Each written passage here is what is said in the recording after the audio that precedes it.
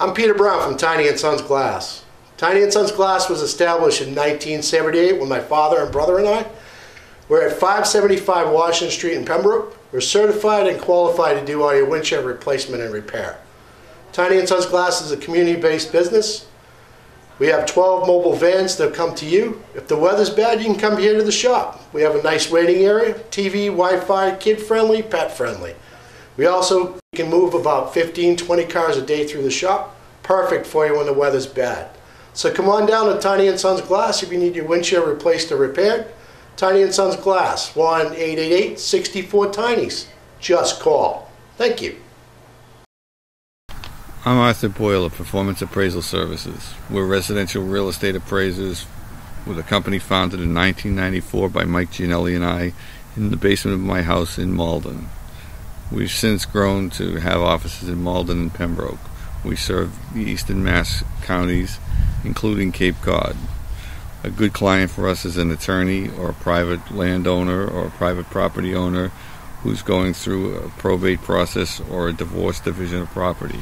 Call us at 781 293 6900. Ask for Arthur Boyle or Amanda Boyle Grazioso. Our first name is Performance. Just to let everybody know, please note that this meeting is being made available to the public through an audio recording which will be used to ensure an accurate record of proceedings, the groups in the minutes of the meeting. All comments made in open session will be recorded. Um, The first is, first agenda item is a public hearing for proposed zoning bylaw amendment that would specify that the distance of the center protection district's extent from the relative ways is exactly 300 feet and no greater than 300 feet. Um, So we're proposing changes to the uh, bylaws that would basically strike out certain sections. Um, So it would be basically to revise section three, section, I mean, section three, number ten, by replacing it with the following language in bold, deleting the language shown as a strikeout text. Um, This district is created to protect the visual qualities of the historic, cultural, and governmental center. Just making sure I get the right one. Yep. Okay. Uh, So this district is created to protect the visual qualities of the historic, cultural, and government center of Pembroke. It shall include all the land that has frontage on the following ways, striking out or to, a- so on the following ways to a depth of three hundred feet from said ways, from and parallel to the following ways. And, um, so what I'll do is, uh, Brian, do you wanna just kind of explain what we're doing, and then we can take comments? Um, It's a change in language uh, of the depth from the Center Street, Mattakesa Street uh, areas of the center, and it would uh, bring it into 300 feet.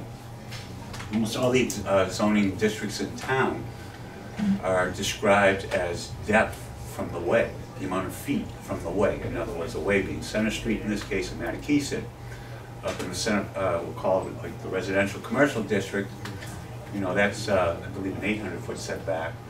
Business district A has typically been about a four hundred foot setback. And These are how the zones are described in town, primarily, except for in the industrial district, which is described as areas.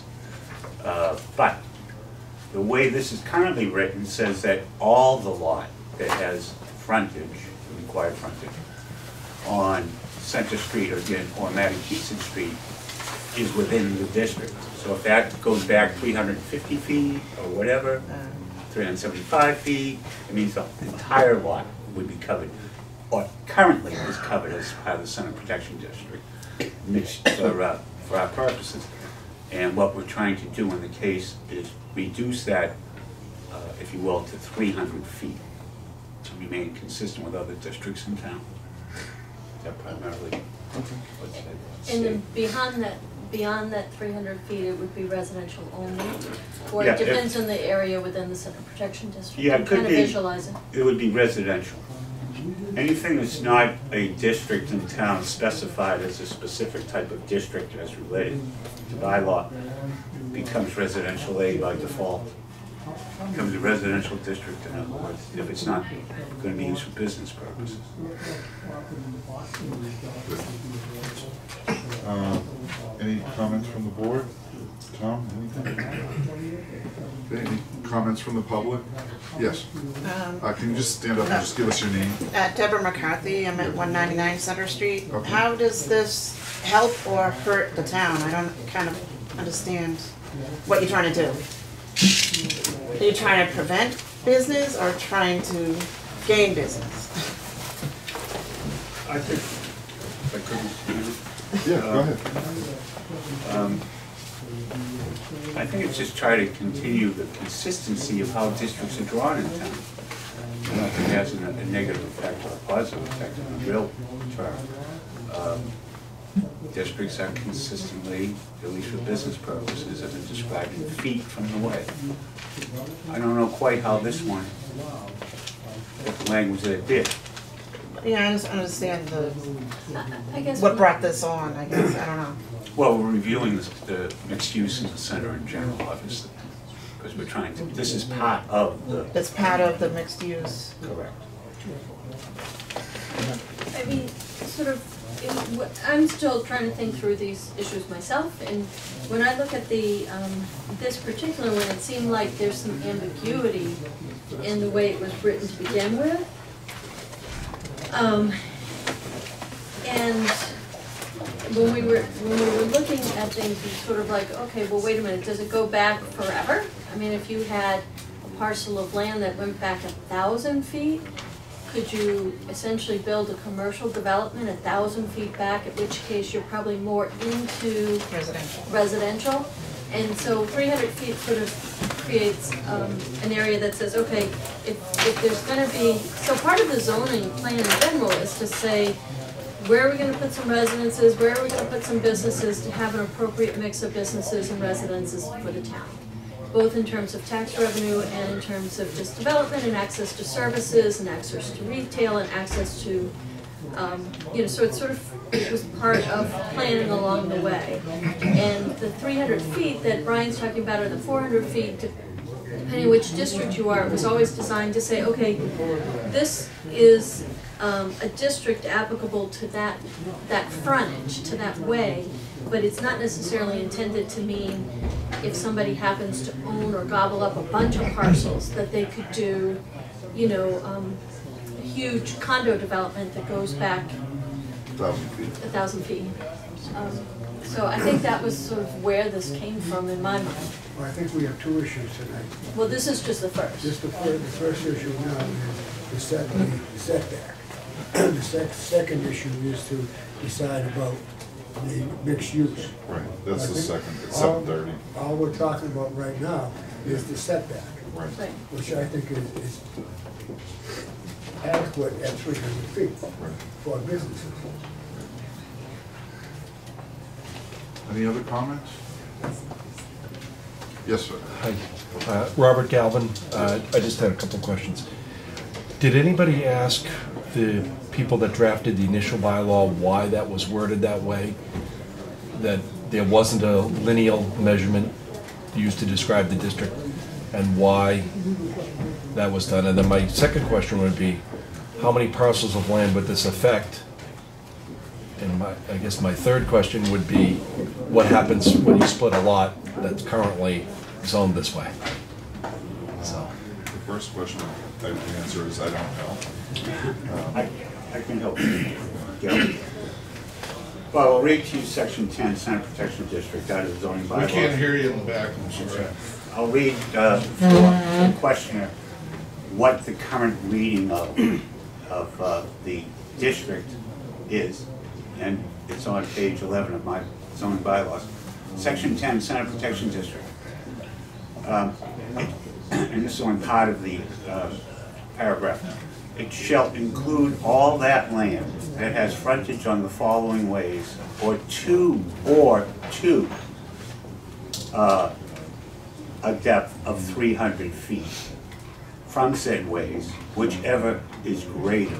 And what we're striking essentially is whatever is greater. The initial intent of the bylaw was to go three hundred feet. That's how I understood it at the time.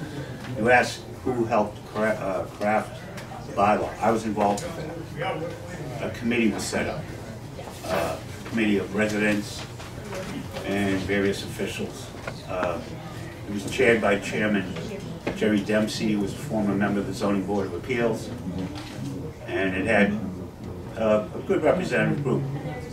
So I'm not quite sure how the language of that changed in the process of what we initially discussed. All I know is that when it was encountered and the words whichever is greater were added, would therefore uh, not limit it to 300 feet, which is the intent, I believe.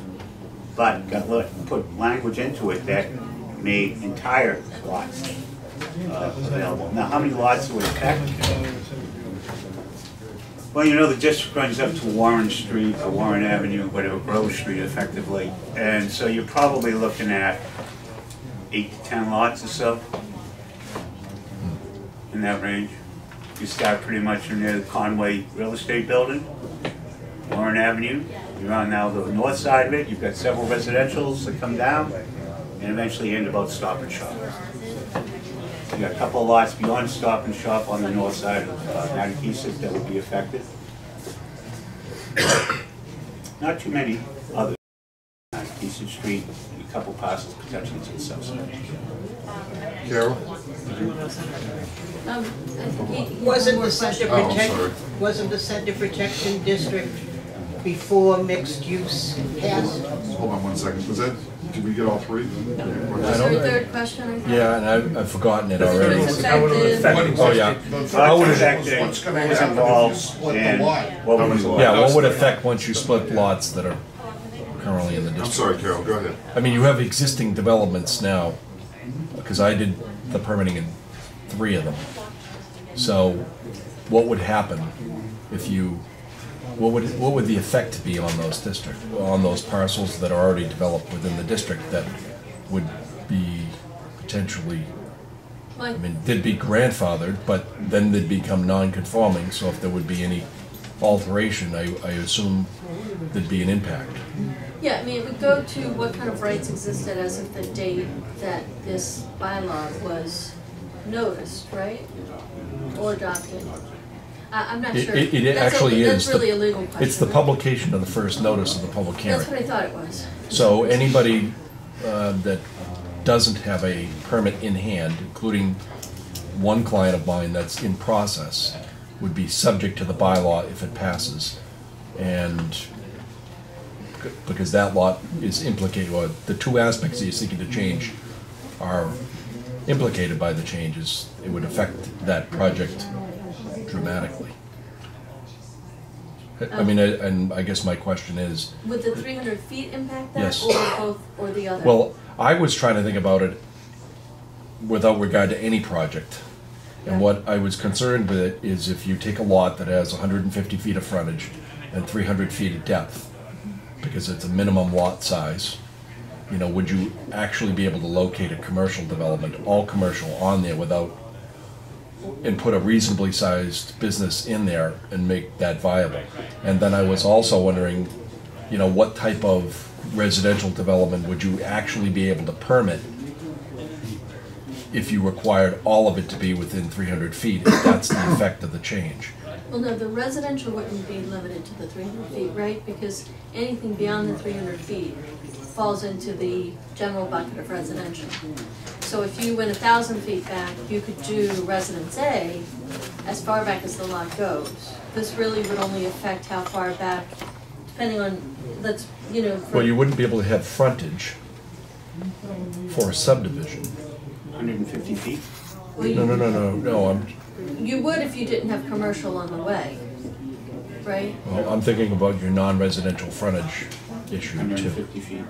150 feet in a 40,000 square foot lot. No, no, no, I hear what you're saying. I'm You're trying, saying- I'm thinking about Form A lots principally. But when I, when I, when I'm talking about this, I'm talking about people trying to create Form A lots so that they can have multiple ownerships.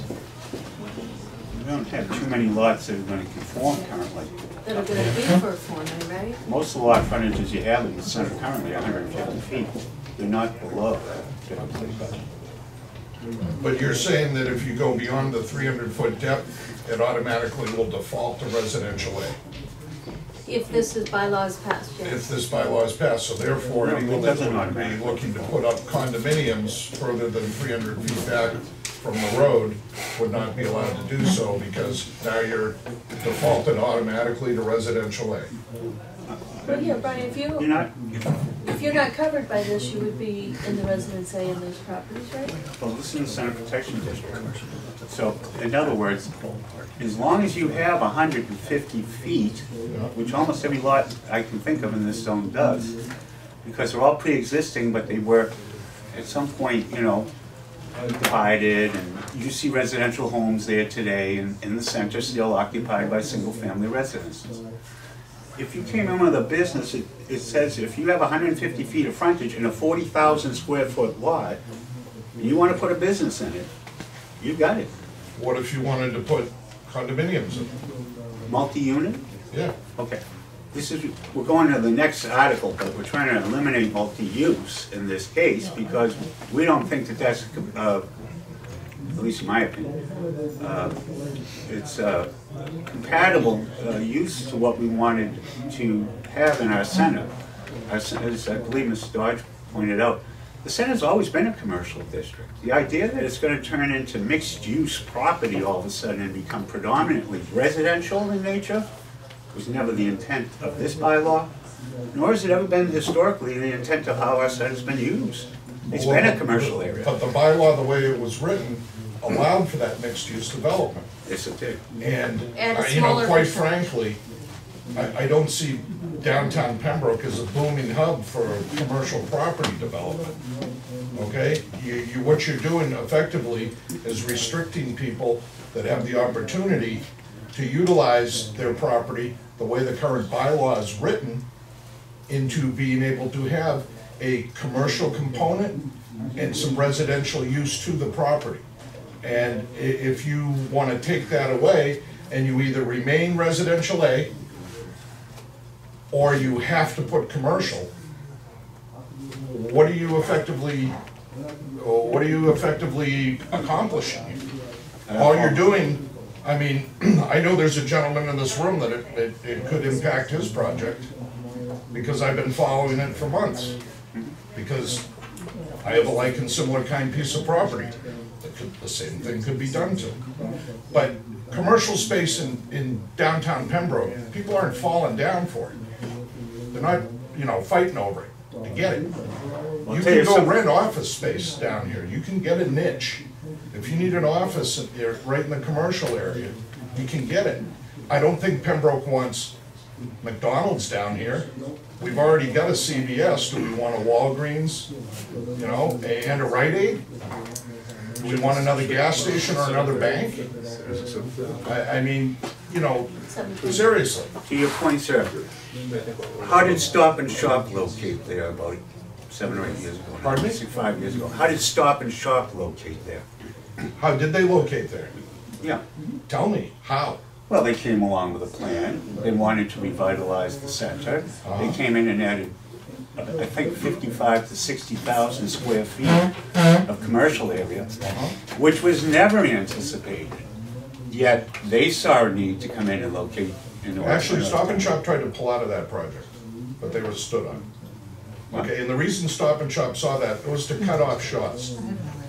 Okay, that, that, that's just a, I Yeah, I was Stop and there for the Shop's a very permitting large- process. I recall all the discussions with the Stop and Shop's a very large corporation. That is branding for them, more than anything, and just cutting off the Shaw's Market in the instant. I don't That's share about your, as sim- Well, you I know, don't- everyone's allowed their opinion. With your changes, though, you, this, that project, if these, if your changes you're proposing were in place, Stop and Shop would never be able to do it, because they wouldn't be able to go back to three hundred feet, so that project would have never have happened. that lot was grandfathered because it was built And I'm saying Yeah. with these bylaws you're proposing in now. the early sixties. And when we go back to sort of the grandfathering concept of a lot, that was taken into consideration when we permitted the stop and shop in the center, et cetera. That all of that lot, because it had been previously developed, was inclusive into the commercial district and became development as you see it. Well, I think Prior- So they were never restricted against Prior to those, these. so you had planned on that lot being grandfathered in before Stop and Shop was even proposed to be in there. Right, it was already But if they- developed as a, a commercial site. Right, but Brian, if it wasn't, then that project would not have gone ahead under the new Well, zone. Right, we would've had to go, or somebody would've had to go for a So you're variance. The developer preventing could have started anything there. like that. I'm sorry. So this new change would prevent anything like that, preclude it. You could not have another situation like that. Yeah. What you're doing uh, is you're no, limiting the Stop and commercial- Shop is, was fairly unique, you're right, Kevin. Right. Okay, yeah. Also, did, if you. But, uh, don't forget, somebody could go for a variance if they had a lot greater than this, and probably have a pretty good chance of success. It's just So hard one to of the compare a things- variance to existing zoning, I mean, Well- it's right in place, right? Now.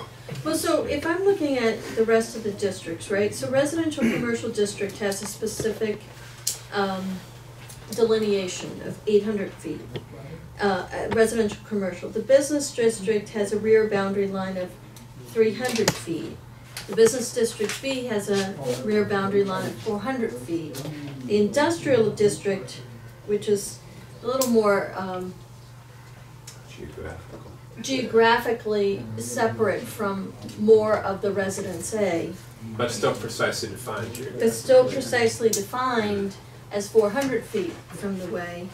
Industrial district, it- district B has, it's defined by lots and streets. And, um, the floodplain, the historic districts, I mean, if you, if you look at it, it looks, it looks like the intent was that all of the districts would have, you know, not further back than, otherwise you could gobble up lots and essentially take over a whole corner of town and change the zoning and the nature of the zoning in that part of town. So I guess I'm looking at, okay, if we talk about three hundred feet, are people feeling like the three hundred feet is wrong? Or that any delineation of, of the number of feet from the frontage is wrong? Because I think those are two different things, right? Because all of our other districts, for the most part, have a, um, an amount of feet from the frontage, because when you're laying out the map, you know, and part of my big shtick, and I'll say it now, I'll probably say it a couple times tonight, is that I really think we need, you know, to look at updating our master plan and thinking through these kind of, where do we want, um, certain types of, of, um, how do we want the town to flow? How do we want the development as a town? Like, that's a whole question. So when all of the other districts were adopted, and presumably from what Brian's saying, even when this one was discussed, there was a sense that it's not, you know, it's not like you could get four lots together that go back two thousand feet and build whatever you want. You couldn't build a, you know, a, a huge retail store by going back that far. Stop and Shop would require a variance under this kind of rule. So I go back to, is it the three hundred feet that people are asking about, or is it the idea that there shouldn't be any um, delineation in this district as opposed to the other districts? A a question I would pose is, how many lots or how many potential situations do you see when you look at your map there, and the assessor's map of the existing lots? How many situations exist that could even possibly Yeah, go ahead, extend, Hold on. e- extend this to something you're describing? Where someone comes in and gobbles up a bunch of land and tries to push a big development or commercial space. But I thought Pembroke wanted commercial space, I'm a little confused, but I get it, you don't want a big retail plaza, I don't think there is a space for it.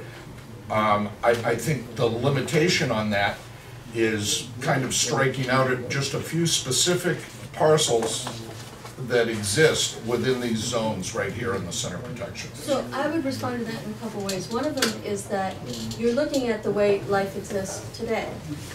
A developer could easily go and take some of the surrounding residential properties and combine it in joint ownership with properties that are on the frontage, right? Well, that's exactly what my client has done. Okay. We acquired a portion of extra land owned by a residential abutter. Um, So how far back could you take that theory?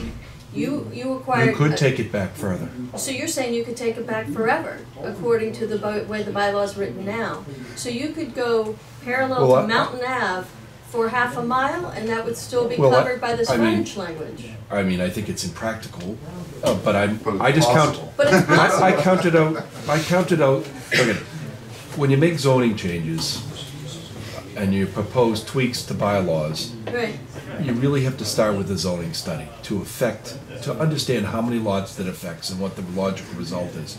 I just pulled up the map as we're talking here, and I counted thirteen parcels of land that I know would fall within the district. Right, so That- eight to you're ten saying is- thirteen parcels of land that have frontage That within the have district. frontage on, Existing or, frontage on the center protection streets Yeah. that are definitely located in the district, that all have a depth of significantly greater than three hundred feet. okay, but what about the ones that only have three hundred feet? How many lots are there total within the district? Um, I- I'll, I'll count them up. Because what you're saying One, is two, that three, those four, people five, who have only three hundred feet, Six, by seven, your eight, argument, nine, could go deeper 10, by buying a neighboring lot. Well, there's twelve that I But can see. the, those So people that's that have 25 only lots. three hundred feet? Right. So now you're talking about twenty-five lots, and what Brian has pointed out to us, and I think the reason why we're having this discussion is what was the intent when the Center Protection District was Well, it formed? wasn't to limit it to three hundred feet. It was to make it greater than three hundred feet, so there would be a possibility. And I'm, I'm thinking that it had to do with the mixed-use concept to begin with, because, uh, you know, it just doesn't seem logical that that language is extra. It's got to be Susan, I I wasn't here, right? Excuse me, all right. Susan Fitzgibbons, uh, Holly Hill Lane. I was on the committee that Brian's talking about when we did the center district.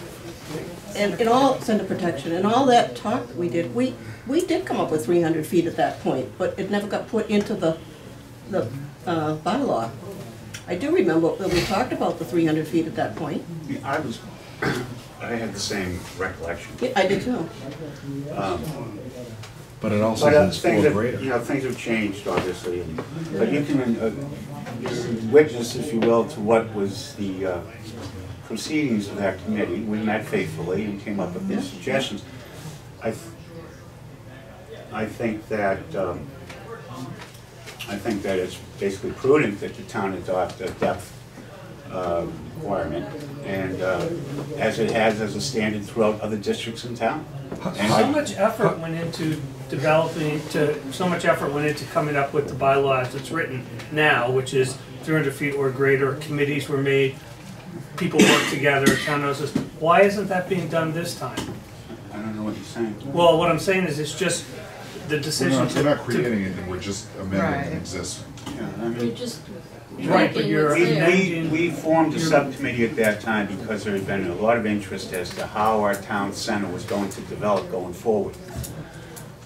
We never, in the, in the big dynamic change, if you will, has been the development of the new plaza, the center plaza that includes the buildings you see now. I'm talking that specific development, for instance. And that wasn't even contemplated uh, we had no idea. And in fact, it didn't come along for about two, maybe almost three years after the fact, uh, that the, uh, forward to the planning board and said, we're interested in putting a new stop and shop here.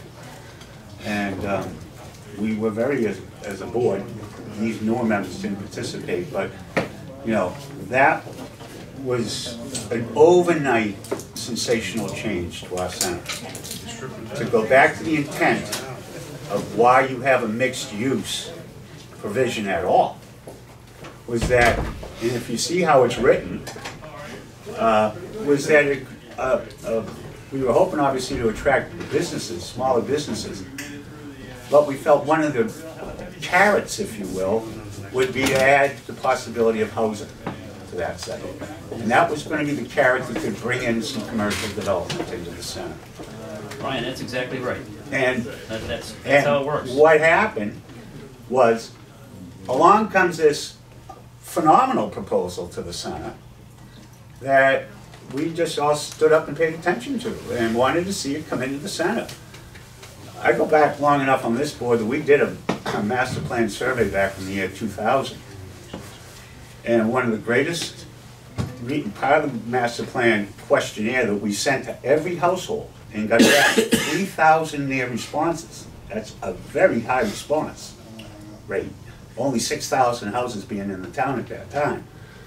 Almost fifty percent of households came back and said, I go to the center to do my banking, my post office, and I love to do a food shopping, but at that point, we had a little meat market in the corner. Okay? And that was it. But the three biggest reasons to want to go to the center was food shopping, post office, and banking. And guess what? Stop and Shop comes along and says, we're designing a whole new building concept. We're gonna come in with 3,500 35,000 square foot uh, supermarket compared to hundred and ten thousand up at North River Plaza, by the way. They were building two prototype stores, one here in Massachusetts, Pembroke, and one in Connecticut. Built both, and both are successful. So they knew exactly the marketing um, concept they had in mind when they located here in Pembroke uh, with their thirty-five thousand, because that was gonna become a new model for them. And in fact, I've went out throughout New England, they may have built other ones similar to that by that, this point in time. So this was all what occurred, and it came after that committee, and nevertheless changed the dynamic in the sector. And it never would have been possible if these bylaws that you're proposing were put into place. What's that? It never would have been No, it possible. was If we had had that, we would have Father- never put mixed use in, never. Right, I know. Carol? Three hundred. You gotta remember that when the Center Protection District Committee was studying, the nine acres behind the post office was woods. And then it became mixed use. And the Rockland Trust Bank moved from the stop in the Fernandez Plaza to across the street. And because it was in Center Protection District, the Rockland Trust had to redesign that building four times to get accepted into the Center Protection District. But mixed use came in after Center Protection. Oh, yeah, quite, quite a while afterwards, actually. All right. Um, we gotta Excuse me. end, we're gonna end have that. end one, or can we? I just wanna let you know, the meeting is ended over there. Did you want these curtains open? If you're fine with this, I just wanna let you know. Okay, thank you, Jan. Um, Do we have people who are looking to get in? So we have, we have two, uh, we have two open seats here in the front. So I front. guess, I guess the question is, can we, can we open the second? So we, Second, we can leave the first open while we open the second concurrently. okay. Because I feel like we're still gonna talk about the It's the three same hundred Yeah, feet. no, it's, Yeah, it's yeah. I have a- tied together. All right, so, um, just to let you know, this is, we're gonna open the public hearing for the proposed zoning bylaw amendment that would eliminate the mixed-use development option in the Center Protection District. Um, I would read this, but it's kind of in-depth, but basically it's going through, uh, section, uh, four. So all section four. Um, to delete section seven B two, which provides mixed-use development, a mix of residential units, and any of the uses allowed or permitted herein within the district is allowed notwithstanding the limitations of section four, one, first paragraph. Um, to delete section four, seven D three, which provides lot sizes, all lots within the district to be used for mixed-use development. Residential and business uses contained on the same lot require one hundred thousand contiguous square feet of area. Um, deleting section four, seven D four C, which provides hundred and fifty continuous linear feet at the way line.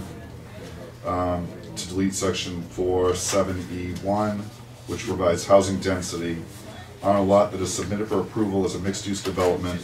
The allowed amount of residential units shall be determined by dividing the total area, site area by ten thousand square feet.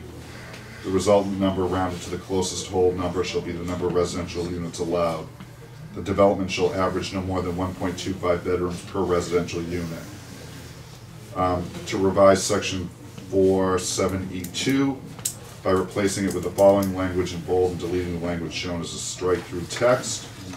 Um, parking on a lot that is, this would be the strikeout. On a lot that has been submitted for approval as a mixed-use development, at least two parking spaces per unit shall be provided in a parking area designated for owner, renter, occupants. Additionally, said mixed-use development shall provide one space for each three hundred square feet of business retail floor area. Parking requirements, so basically, uh, parking requirements, this would be left. Parking requirements shall be determined by zoning bylaws provided in section five, four, A one. Um, and then also deleting section four, seven E three, mixed-use ratio on a lot that is submitted for approval as a mixed-use development. The total building floor area shall be separated into a residential component of at least thirty percent, but not to exceed fifty of the building floor area, and a business component of at least fifty percent, but not to exceed seventy percent of the building floor area.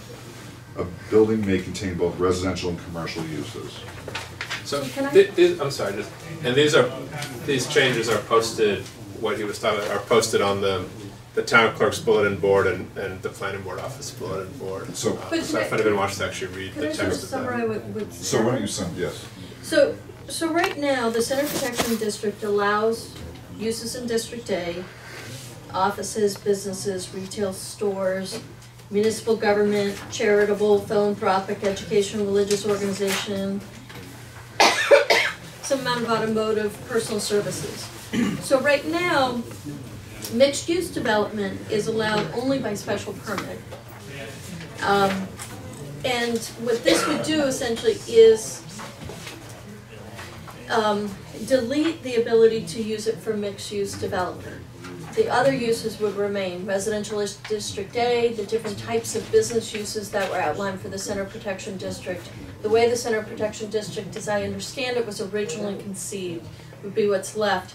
The reason why all the rest of this goes down is because originally when mixed use was put in, it had some limits on how much mixed, mixed use relative to business use. So there was a limit to the amount of density of the housing in the mixed use portion of the lot. There was a limit to the ratio between mixed use housing and commercial. Because if you look, if you go through all the sections that are being deleted, these all go to mixed use. So if you take away mixed use, you don't need housing density, you don't need number of bedrooms, all of these relate to mixed use only.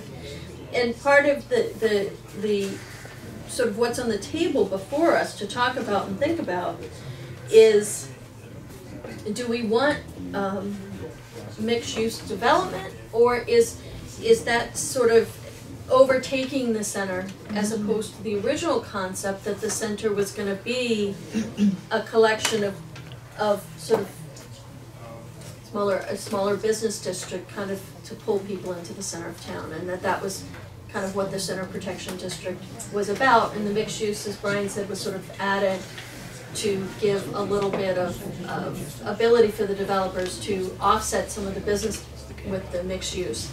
In fact, sometimes these ratios of density and mixed-use ratios have, you know, not really been adhered to. So the question is, sort of what, what are we doing in the center? And this bylaw change would bring it back to, you know, the, the residential lots that remain, residential A is still a conforming use for anybody who has a home in the center protection district.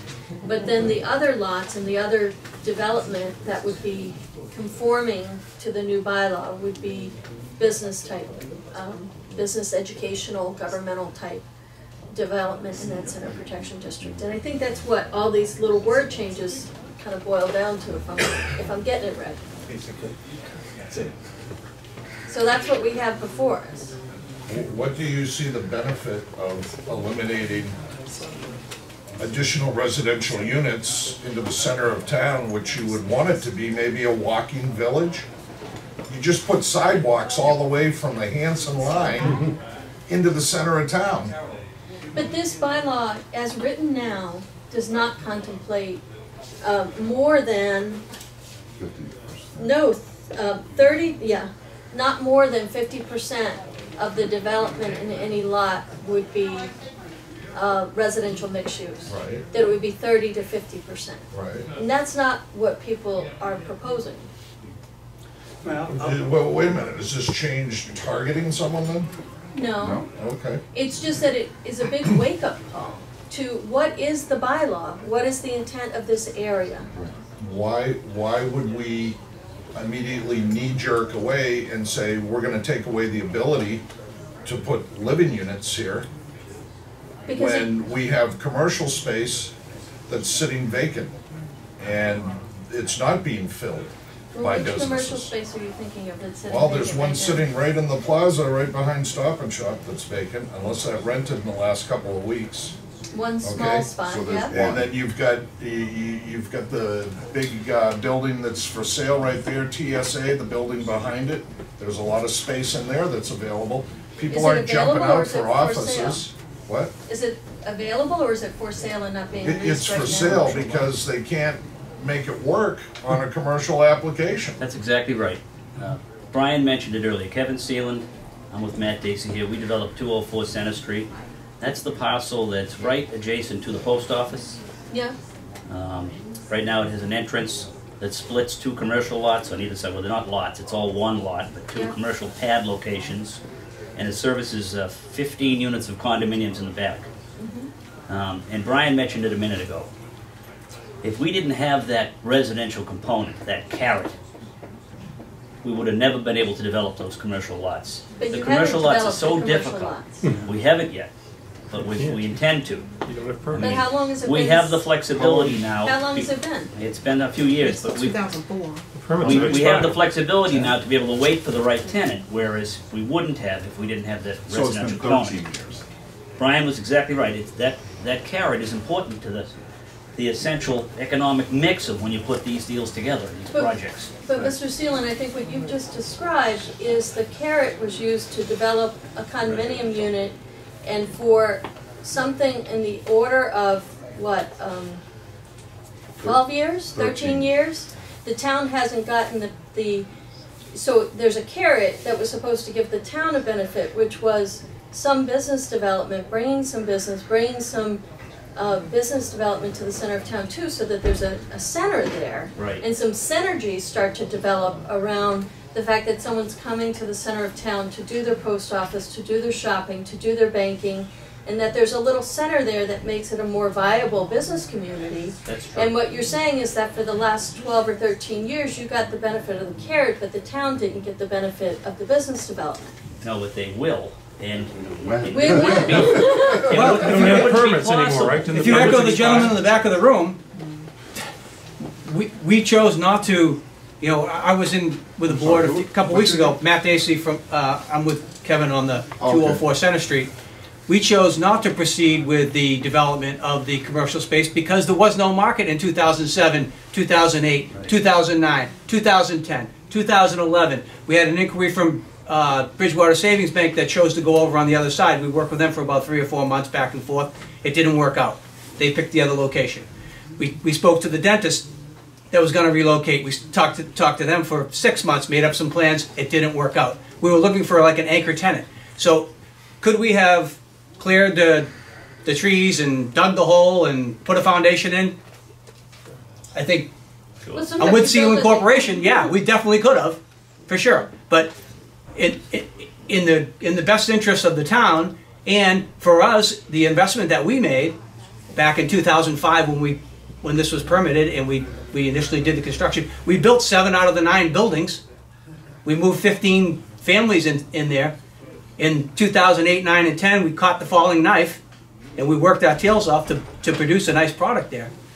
We, we developed the infrastructure to the sites, but if we don't have anybody to move in there, Right, you can't, you can't push on a rope, I mean, Well, Yeah, frequently the right people- customer will come. Yeah, sure.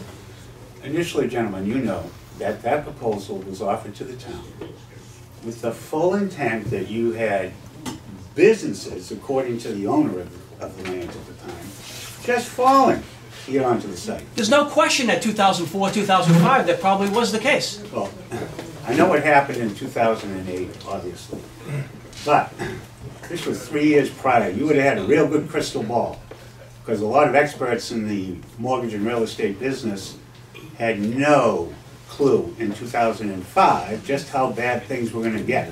No, but we, So we did I- struggle through. Now, you left yourself in a position, by the way, after you got increased housing onto the site. Okay, you- you went to the Ver- Board of Appeals, Mr. Galvin was the attorney, if I recall. I've, I've done the three center protection permits that have been proposed. so- We're given additional units, two-bedroom units, and left yourself with two postage stamps out front. I'd be surprised if you could get a drive-through operation it in today's world. But that's your problem.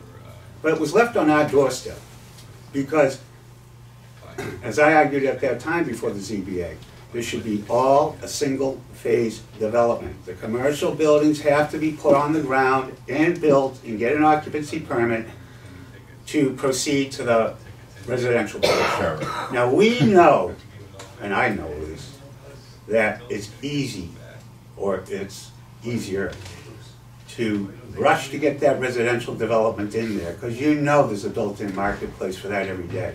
What challenges a developer, at least one who's not used to commercial development, is how to put the commercial in there. And who does he go out and seek for clients to go sell that project to? That's, when we work up in the north part of the town, and where the Stop and Shop is, and you have a developer like, uh, uh, RK. RK, they come in, they know exactly who their clientele is, who's gonna come, they seek that business. They go through smooth as butter. They come in when, if we have an objection to something, or where something should be placed for us or something, they come right out and say, fine, how do you want us to work with this? How do you want us to go forward with this? Those are the guys who we've been successful attracting to the north part of the town, which again is a little, obviously easier for commercial development, but that's what they do. That's what they do, and they do it well. What we lack here is not a problem with, is it attractive enough or something, uh, but that development takes time. It's a slow evolutionary process. It's not something that all of a sudden, we're gonna have a multi, multi-billion, million, million dollar company come in here and say, no, I wanna put up a, who name, you know, name a half a dozen national brands. It's probably not gonna happen in our center. That doesn't mean we have to keep, uh, doesn't mean though that we shouldn't be trying as a community to attract that sort of, uh, development into our center. Uh, as I threw rhetorically out to the gentleman in the back, how did Stop and Shop get here then? Because they knew what they were looking for, and that's what they do.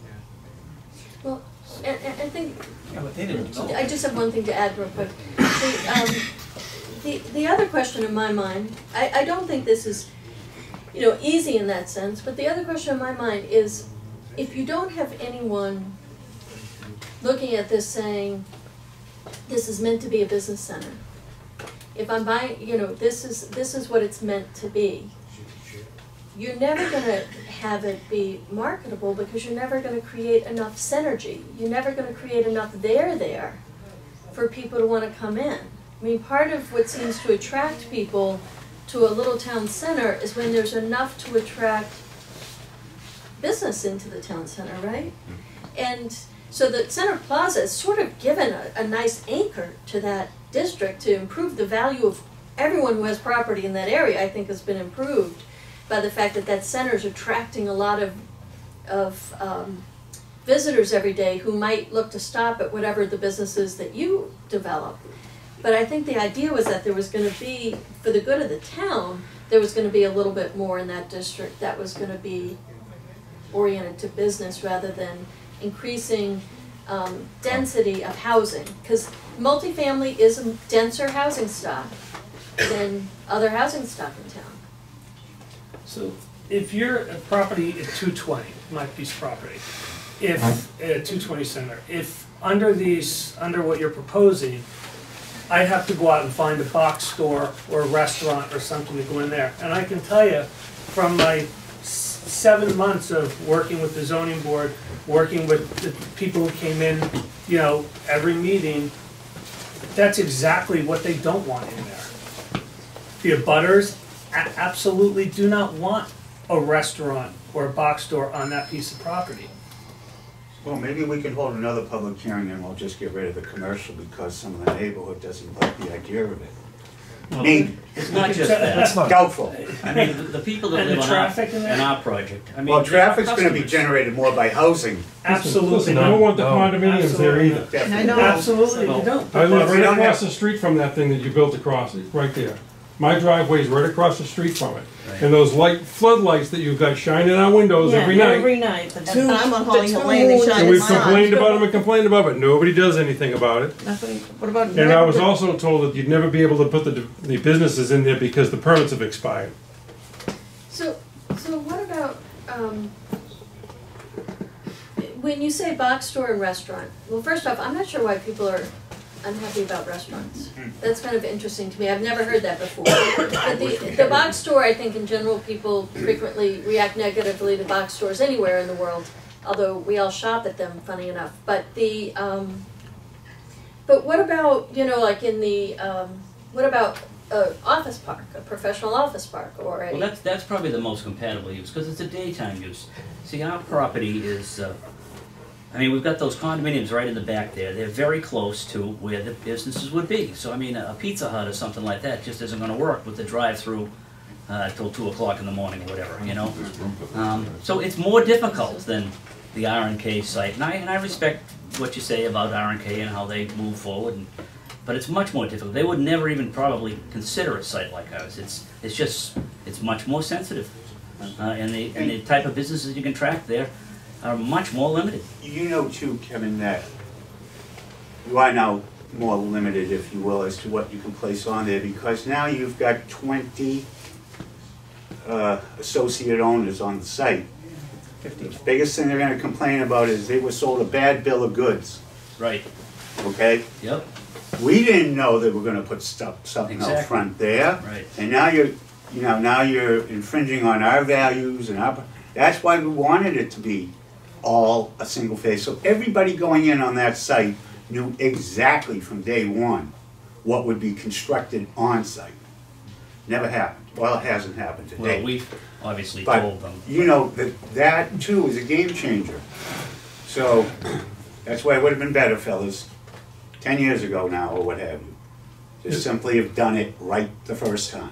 If I recall, they were given the permits to build the condominiums because they needed the money to, to continue the operation. That's why they didn't build the commercial. Right. And they built the condominiums, sold them all, and left. And they're here this evening to make sure that they get that commercial Yeah. component built. We didn't leave. I know Yeah. Yeah, We well, didn't go the anywhere. place It is just- still, It just falls a little. Good bit news is we're still here. On false ears, uh, you know, sensitive ears in terms of what I'm hearing from that side. But, you know, we do have a new development, and we're subject almost to the same thing, although we do have a provision under the approval that says they'll build the business portion, I guess, first, instruct that. Uh, in, in, in response to the idea that it never got built on, on the other site, by the way. So, we're left with, again, a situation where this was never intended to be predominantly a residential development district, multi-use. We're allowing, when you divide a lot by ten thousand square feet and give it a housing unit, or in this case, a bedroom, um, that's as dense as our residential commercial district. If you had an acre of land, call it forty thousand square feet, you get four units. Well, the intent was not to ever, ever make the thing, you know, twenty units of housing and throw, I don't know, An, an office. something out front for a couple hundred, a couple thousand square feet. That was never the intent. Why do we want to pump in something of housing density to the intent that's the most we allow anywhere in town on an area that when we first built the Stop and Shop, Stop and Shop got completed on, we had tons of complaints before this board. The traffic was not being ha- handled properly. You think of that little T section of Mattakeeset Street to Center Street. You start adding a lot of 10, 15 unit housing type developments in four or five or 13 potential locations or. And all of a sudden, you got a traffic mess. You were asking earlier, sir, about what's the good? Well, the good is we don't want the area strangled off from high traffic volume. And I'll tell you that residential is not that passive of a use. It simply isn't. A lot less than commercial. Certainly. You can't say that, A lot sir. less than You can't say that also, to your because point that the quarter acre, a quarter acre, you allow that all the way up and down fifty-three. A That's quarter residential acre per, commercial yeah, you have one, but you said lot dense than other areas of town, that's that's not the the case. You only, can, that's the only place in town we allow that density. it's, it's, There. it's the whole length of, of, all the way down to fourteen. That's the only area. Ninety-five percent of this town is And, and, zoned. and center Residence A. and center protection. Right, but it was not our So it's two- intent.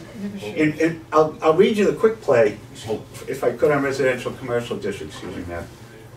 Since it's been adopted, we've never built another commercial building. All the cupcakes are being taken by those who want to put in the condos. Mm-hmm. We've never got a dime's worth of commercial development once we opened it up to residential. And it's a residential commercial district, and the intent was that you would be building, you would be generating, the idea was that the housing was gonna generate some business needs on, on Route fifty-three. Absolutely. That was gonna generate some business development, which in terms of the town overall, does tend to create more of a tax base in town. And it creates some, uh, services in town, so people don't have to go out of town for services. So as I understand that residential commercial district, it was designed to have a mix of residential and commercial. But what Brian's saying is that was the only area that we allowed that level of density, and the only thing we've gotten is dense housing. We haven't gotten any new commercial in that, in that district. So it kind of, it kind of, what, what we keep learning is that anytime mixed use is allowed back in, the business goes away, the mixed use happens, we get denser and denser with fewer and fewer businesses serving the population. And fewer and fewer businesses contributing to our tax base. But you have more residential units contributing to the tax base. That Well, usually- that's a big debate, Some right? people argue that takes money out of the pocket of the taxpayers. Um, I'm sorry, go ahead. You know, when you bring it, when you bring the traffic count down Route fifty-three, from when you get off exit thirteen until you hit the intersection of one thirty-nine, you roughly average eighteen to twenty thousand cars a day. Excuse By me the one time- second, hold on. Th- Go ahead, can you go with your question? I'm sorry. All right, Jerry Detson, 37 Matagorda Street. I'm just going on the commercial thing. When was the last time anything was built commercially in the center of town? It's, there's no market for it right now. I've had my lot on the market for five years now, on and off the market, with Conway Commercial. And they basically said, there is no use for commercial in the center of Pembroke. We've got everything. We've got the Stop and Shop, we've got a hardware store, the liquor, we've got the banks, we've got the CVS. Don't forget our two Nobody gas else. stations and Dunkin' Donuts. Right, I mean, nobody else wants to come into the center, and I think we've got to Recently, we take had that a into proposal. consideration. Recently, we had a proposal for Cumberland Farms to go where the gas station is, for Right. instance. now. They're just gonna do Uh, swap. The East Boston, um, I'm sorry. What East happened to Bridgewater that? Savings Bank came in after a follow-up to the Stop and Shop project. That added, that project development was approximately sixty thousand square feet of commercial space. That was added. The bank that came along across the street, the new bank, not the Rockland Trust, that was associated with that. We have a potential of Cumberland Farms moving to where the current uh, independent gas station is in the center to clean up that site. Uh, We've had changes to the Dunkin' Donuts. We're making material changes to the governmental buildings in town through, through uh, reinvestment uh, to the Council on Aging and the GAR Hall, not to mention historical sites like our First Church, et cetera. They're all being improved, and they'll be up and running within the next 12 months, improved. There's a lot of change What does going the on. board see, what would they like to see for commercial property in the center of Pembroke? What would you like to see? You don't want McDonald's. I think what we've know? been talking about, we'd like to probably try to see some sort of, um, you know, medical uses, uh, office-type professional uses, whether they be accountants or what have yous.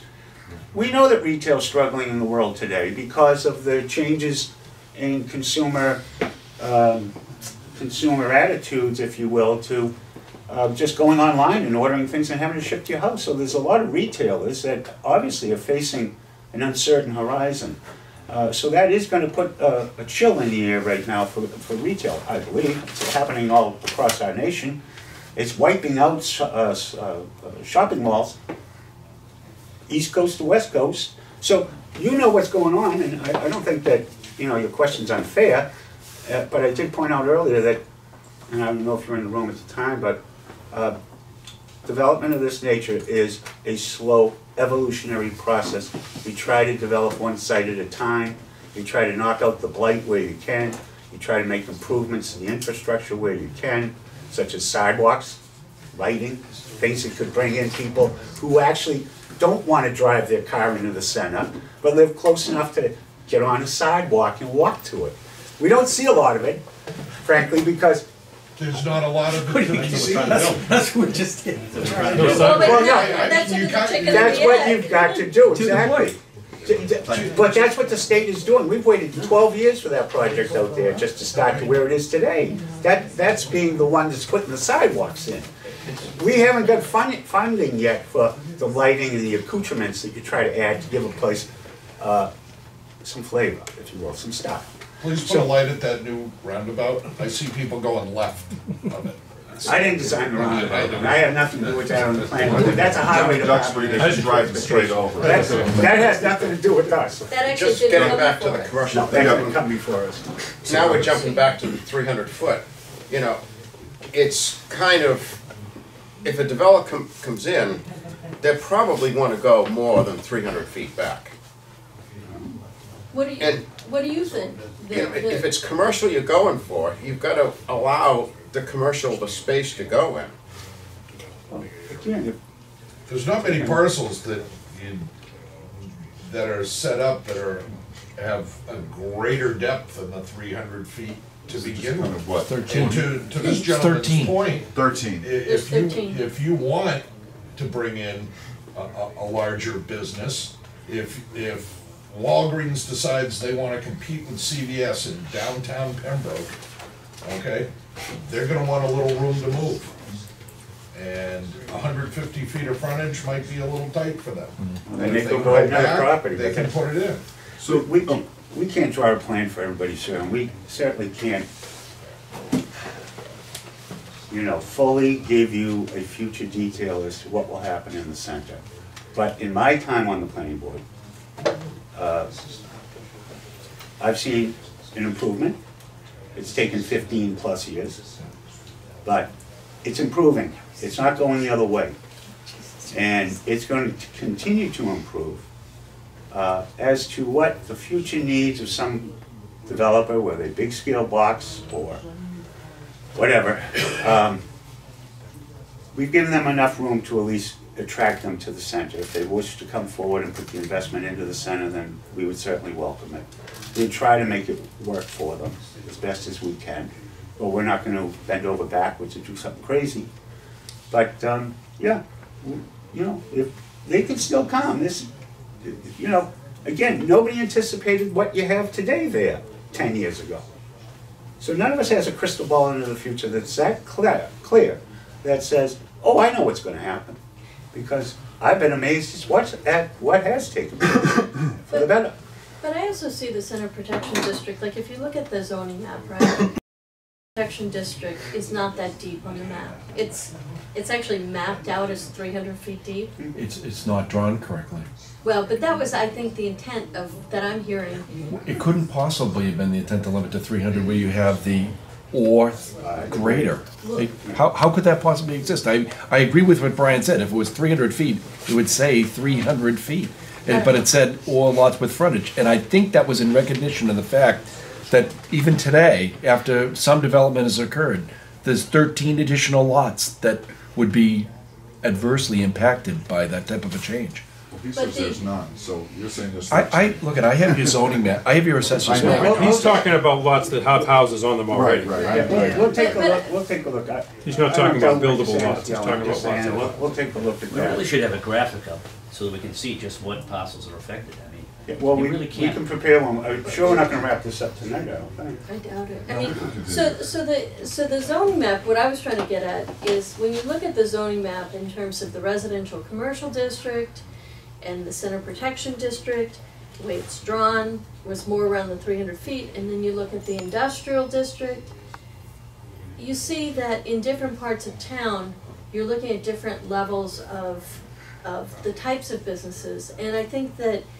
the three hundred feet is more in keeping with not having somebody suddenly put a couple lots together and build a, a Lowe's in the center of town, not that it would ever belong there, but you know what I mean, it's not, the three hundred feet is more in keeping with the idea that the center protection district was gonna be, is, is mapped out to be smaller than the industrial district over by Route three, where you have more big box development.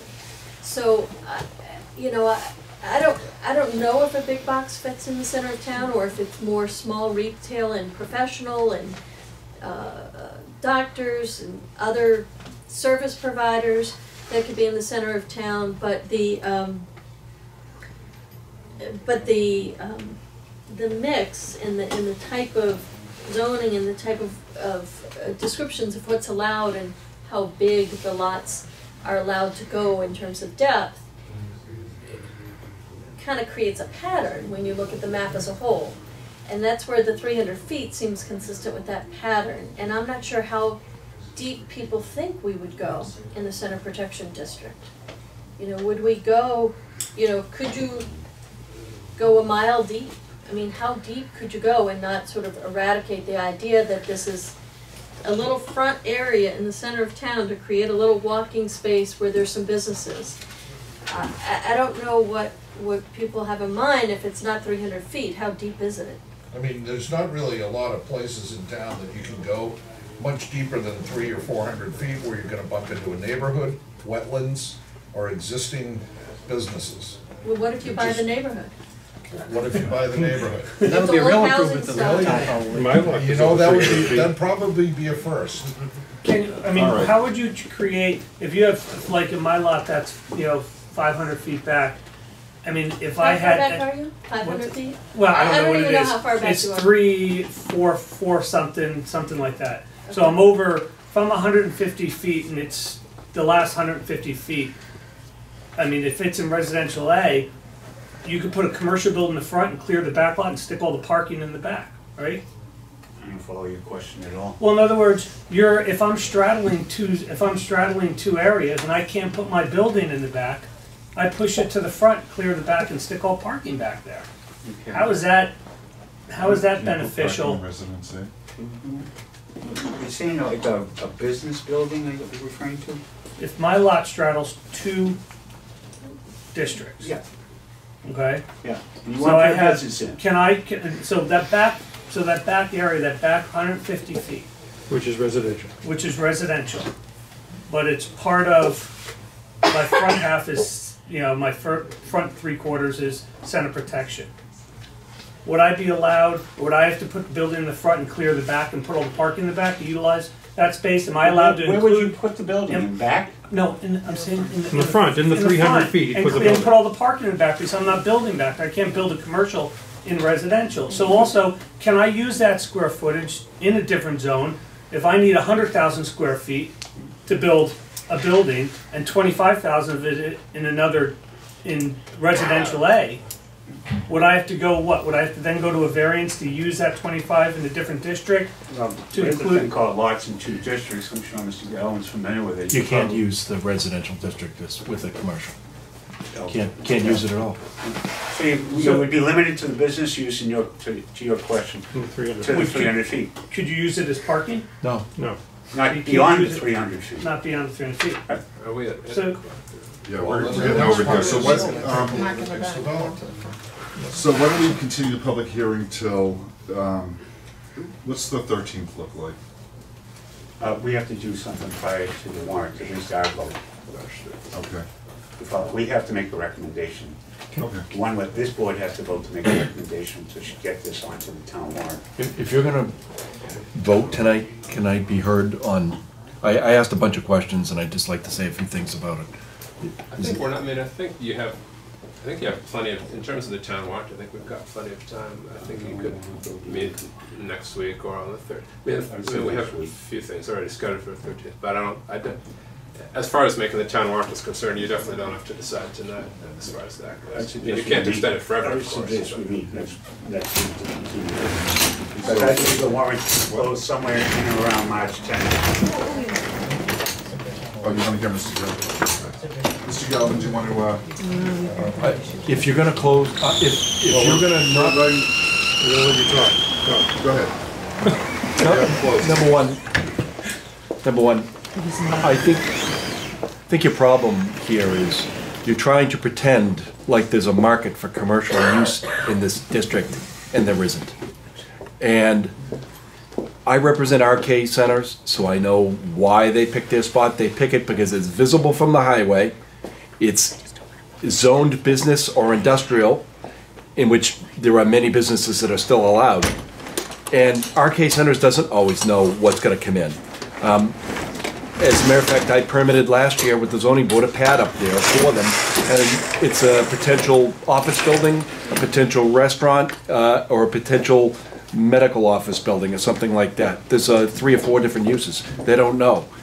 But down here in downtown Pembroke, around the center, there's just no market for commercial uses.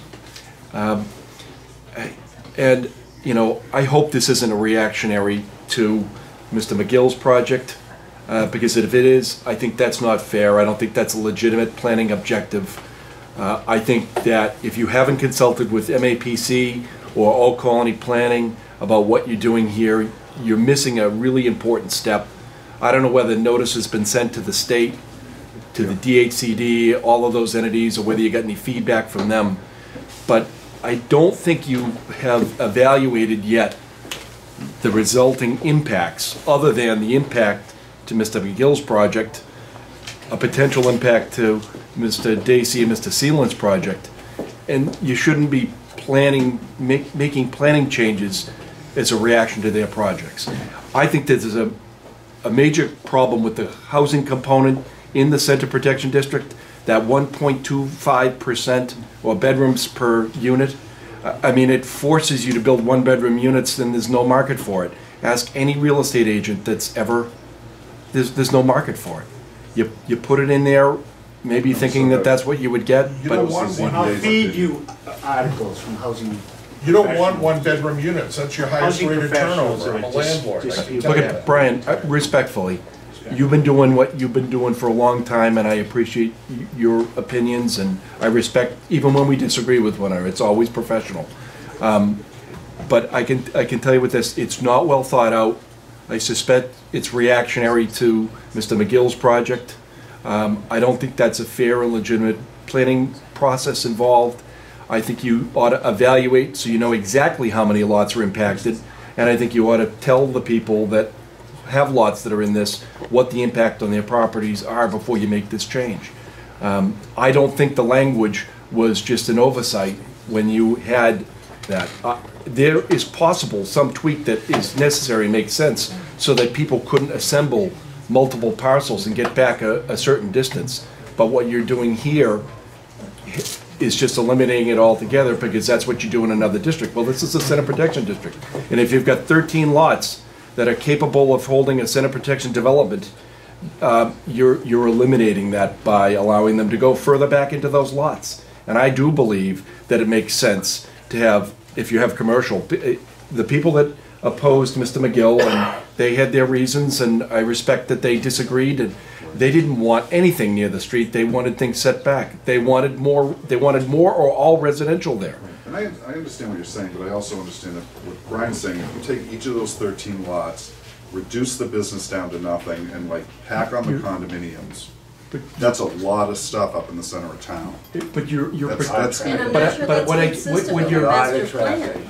I don't think that's Well, consistent with how, the master plan. That's what is the master, the master plan had to have, because every master plan in every town on the South Shore, and I've, I'm familiar with eight of them, at least in the surrounding area here, all promote um, village-style housing in close proximity to the district.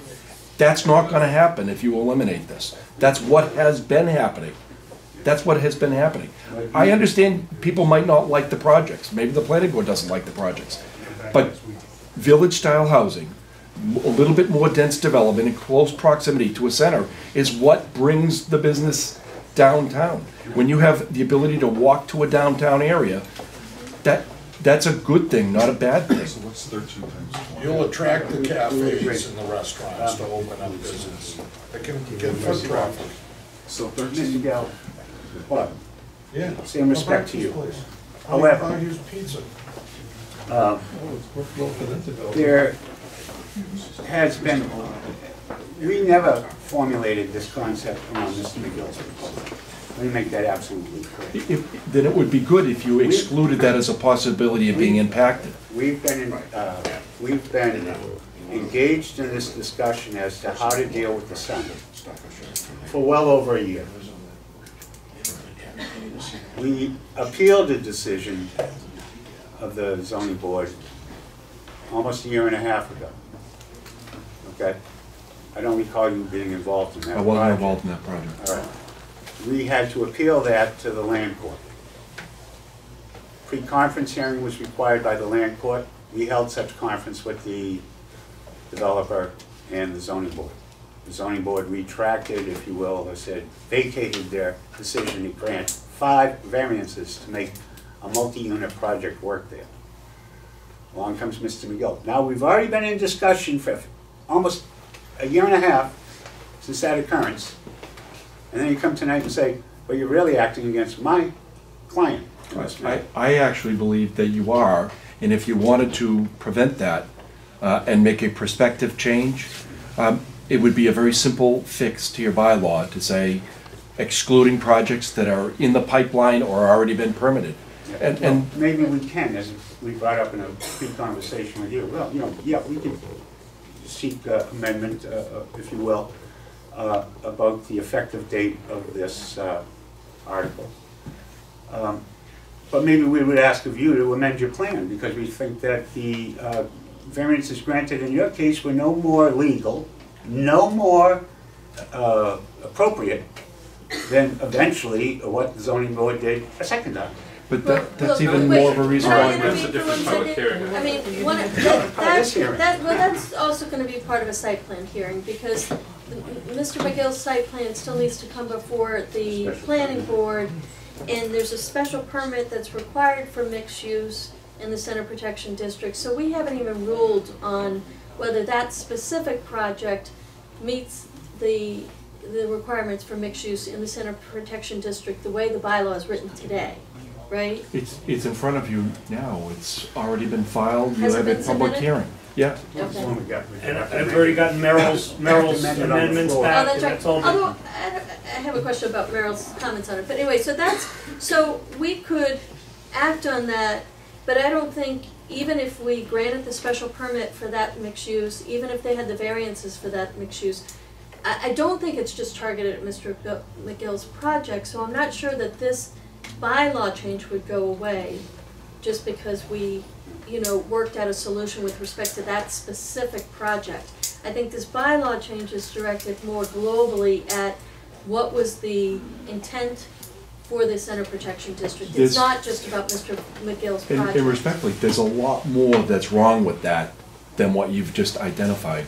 And let me tell you something, there's a lot of problems in the bylaw globally. If there weren't, I'd be out of business, okay?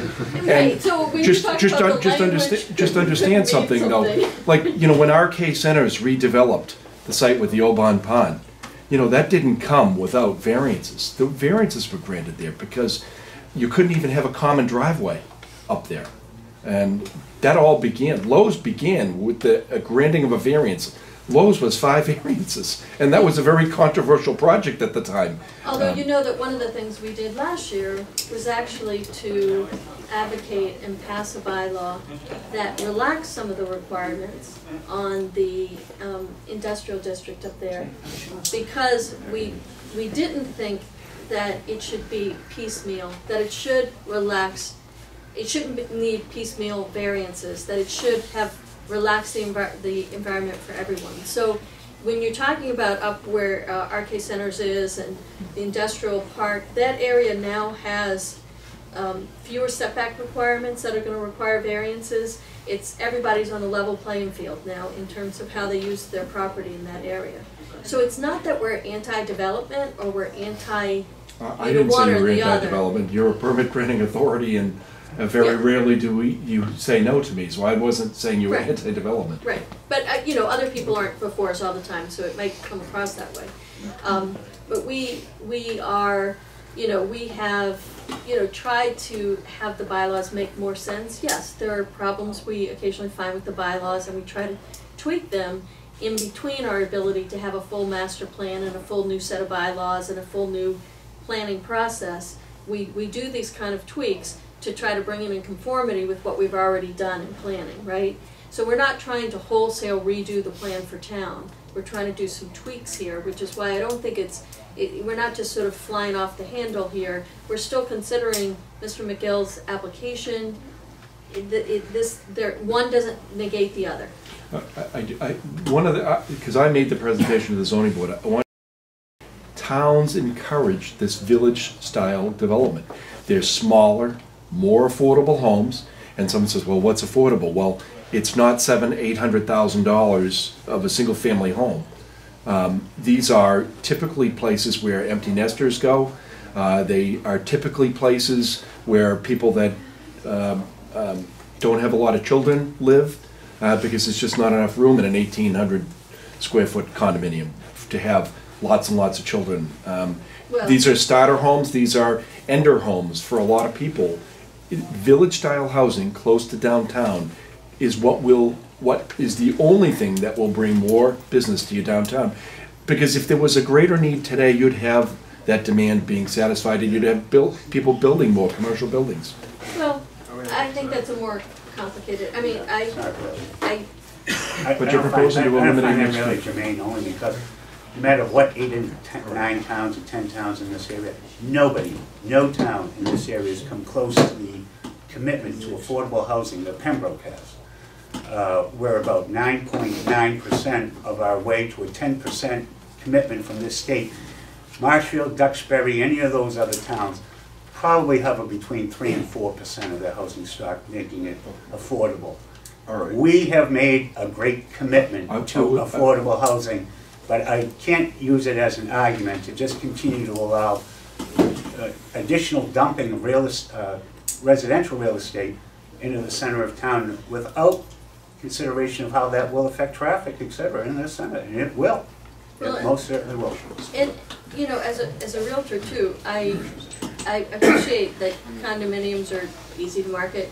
Um, but in terms of affordable housing, I mean, you know, you look at some of the projects on Route fifty-three, a lot of my clients who are, um, downsizing or, um, going through a divorce or other life transitions, you know, those, just because it's a condo doesn't make it affordable. Yeah. You know, That's four all. hundred and fifty, five hundred thousand dollars is not necessarily affordable. These aren't affordable. All right, so why don't we, um, look for a motion to continue this public hearing, do you want it to the So March sixth? third- March sixth, is that, is that Monday? That's next That'd Monday. be a week from today. I Make the motion, uh, Mr. Chairman, to continue the public hearing regarding the Center Protection District, two items, uh, until March sixth at seven P M. All right. Second. All in favor? Aye. All right, Aye. all righty. Okay, thank you, folks. What, we- what time did we say, I'm sorry? Seven. Seven. Seven. Seven P M. All right, so next we got, uh, Discussion, expanded Wolf's Den, folks. Thank you guys for coming out tonight. I had some continuing administrative matters. We're over I guess we can, we can. Is there someone coming in for this, or? Yeah, I think he should be here. Should we, at least should we, um, you want to accept the, the minutes anyway? Make a motion to accept the minutes. We have to make sure everybody's here. Oh, yeah, you better, yeah.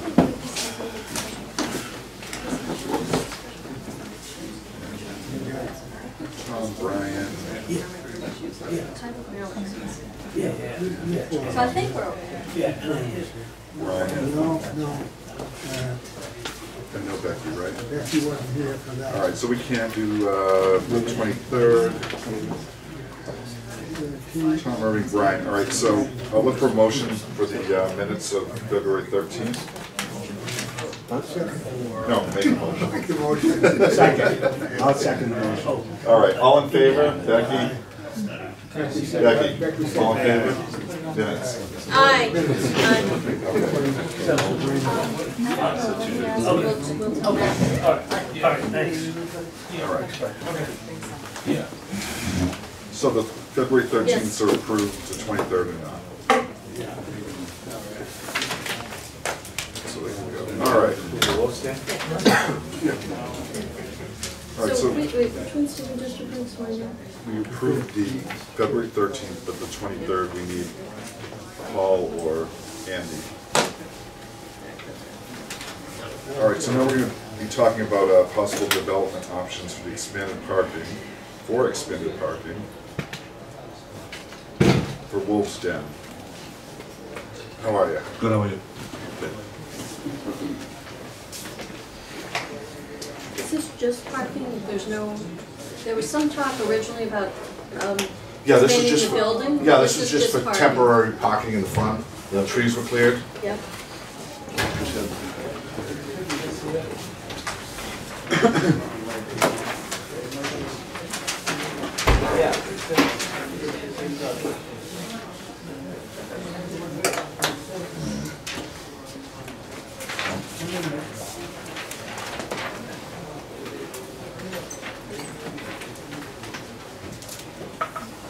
Oh, Meryl did the second? Yes.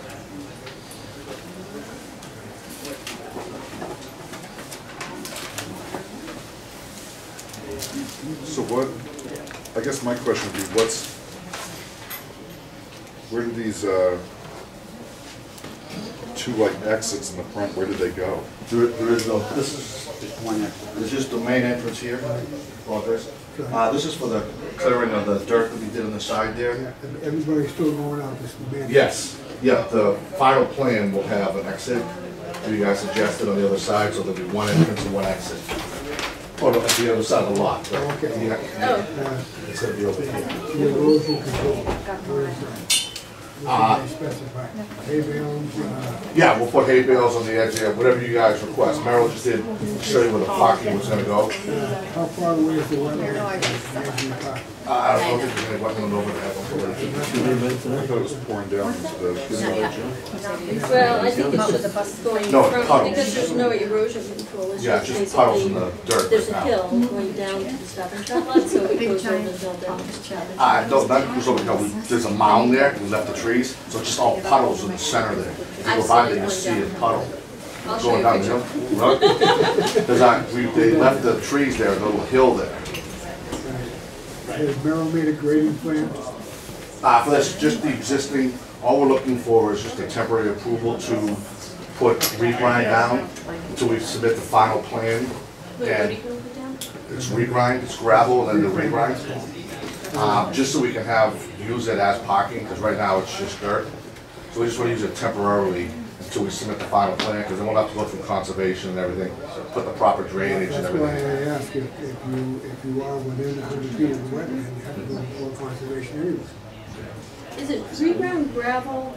Are you gonna be able to paint on reground gravel? Yes. No, Well, So how are you gonna mark these They, spaces? you can paint on the regrind, when they compact it down, that's what they told me, because I asked the guys there. But if you're grinding it down, then what are you doing for um, drainage?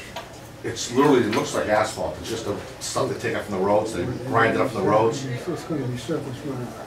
So that's my Until, point. until he gets his final. Yeah, just the final plan, I'm just looking for a temporary thing so that we can operate in the spring. And then we'll have Merrill do the complete design for the expansion in the back and the expansion of the full parking. Because we need to put in a new septic, we need to do the drainage in there, we gotta do a whole bunch of stuff in there. I'm not, I'm personally not comfortable with like approving stuff like this without seeing like the full plan. I, I'd like to see a grading plan. Uh, Just so we know which way the water does flow. I assume it's all coming this way anyway. It's coming, it's coming towards, uh, one thirty-nine. Uh, that should kind of, if you're, this is the street here, that should kind of pools all right in here. I feel like we could, Yeah, that's where everything goes. I feel like we had a handwritten drawing. Then they just went in and basically leveled it down and now we're getting a plan. I guess I'd like to see what's gonna be there before I go. Well, the parking will be there, the final design has the parking there, and the new building going in the back, and then all this is gonna be parking here. So can we, Here's where th- there were rocks on the side and the water was going down there into the Stop & Shop. Okay. That's the parking lot. There was sort of a, a breach in the mound and there were rocks and there was water sort going through the rocks. Right, I didn't know that there was water down, because they said that they just cleared the trees and left the edge Well, I of the think we trees. told you that last time. Yeah, but the, when I looked there, it's all pooling, now it just pools right in here. You'll just see a big puddle right in here now. Water went down into the other property, yeah. Like here, yeah, it stopped some of the dirt, but it wouldn't, yeah. I'd almost like to see a grading plan from Merrill, just to give you an idea of what they think is gonna be here, so we can. Well, we gave you a plan, conceptual, um, last time we brought it in. Um, when you guys asked for it, I dropped it off. Okay, I don't remember seeing it. Um, do you have it? The one I dropped off here? Um, yeah, I do, but I mean, I think this is sort of supersedes it or whatever. I think No, it's the same, if you look at it, the parking's just there. The old plan, if you see it, is this it? No, no, they're not Okay. pushing this. Well, actually, yeah, that's it. But I think this is, I mean, isn't this the newer version of that? No, that, all that is, is we're just looking for temporary use for the front there, for the parking. So you can see the grand. Oh, so the full, yeah. the Yeah, the full design Full idea. is there, because we still have to do some of the existing work there in the back. I'm- I'm just concerned about what, what Becky just showed me, the fact that the water was going over into the Stop and Shop property. Uh, I'd like to Well, at see- the, yeah, at the bottom, there's a, a hill also. Okay, I I don't know if anything, I don't know if anything gets into I- I- I'd the the property, but I can take a look at it. from Merrill That water is not leaving the site. Yeah, well, I mean, we could put a mound there so no water leaves the site. So I would, I guess what I would say is basically, I, I, I don't wanna vote on anything until we get something from Merrill showing the grading. Yeah, we, we, we'd rather see a, at least a preliminary grading plan, it's not a big deal. After Peter, and see what he can do. Okay. So would that be part of a, a full site plan application then? Yeah, it will be. Oh, it will be, yeah. And that should be submitted. So do we have a site plan application on this, or is this just an No. informal? No, it's just, just an informal thing, we just wanted to do He's it. trying to get a temporary parking lot so he can park cars there. And he wants to, but I think you should get an idea how it's gonna be graded. So I'm confused, are we doing the site plan review to grant a temporary approval, or are we just doing an informal review and allowing temporary use, and what would temporary mean? That would have to be, you can specify that in the, um, in the site plan, because by the applicant's statement, it's- temporary. I'm looking at another plan that was submitted, it shows additional parking coming up in this area here, okay? It Doesn't show yet, but I do agree that we do know, need to know what the um, elevations and things are in this area to make sure that everything here is going to go the right way. You'll have to say- uh, stay on the site, but, uh, Also, if there's gonna be more parking, are they all gonna be exiting through that one spot? Well, you mentioned that there would be a second spot, but it just hasn't been drawn on the Initially, initially plan. he's gonna Yeah. maintain this one here. Yeah, we're just gonna maintain one, all, all I was looking for was to use the area that's cleared. Right now, it's just mud.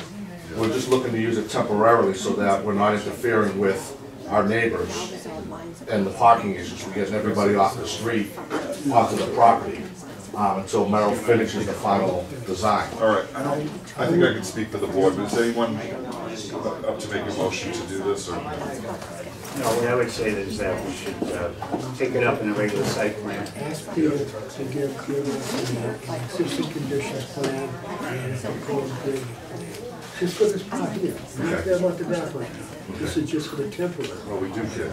We don't care yet. until- All right. until it's formal. Yeah, so, I just, so, just so I'm clear, I apologize, just, just so for a temporary, I need the grading. No, no, you need the whole, to, we're not gonna start like piecemeal on this thing. I think we need to have like a regular site plan.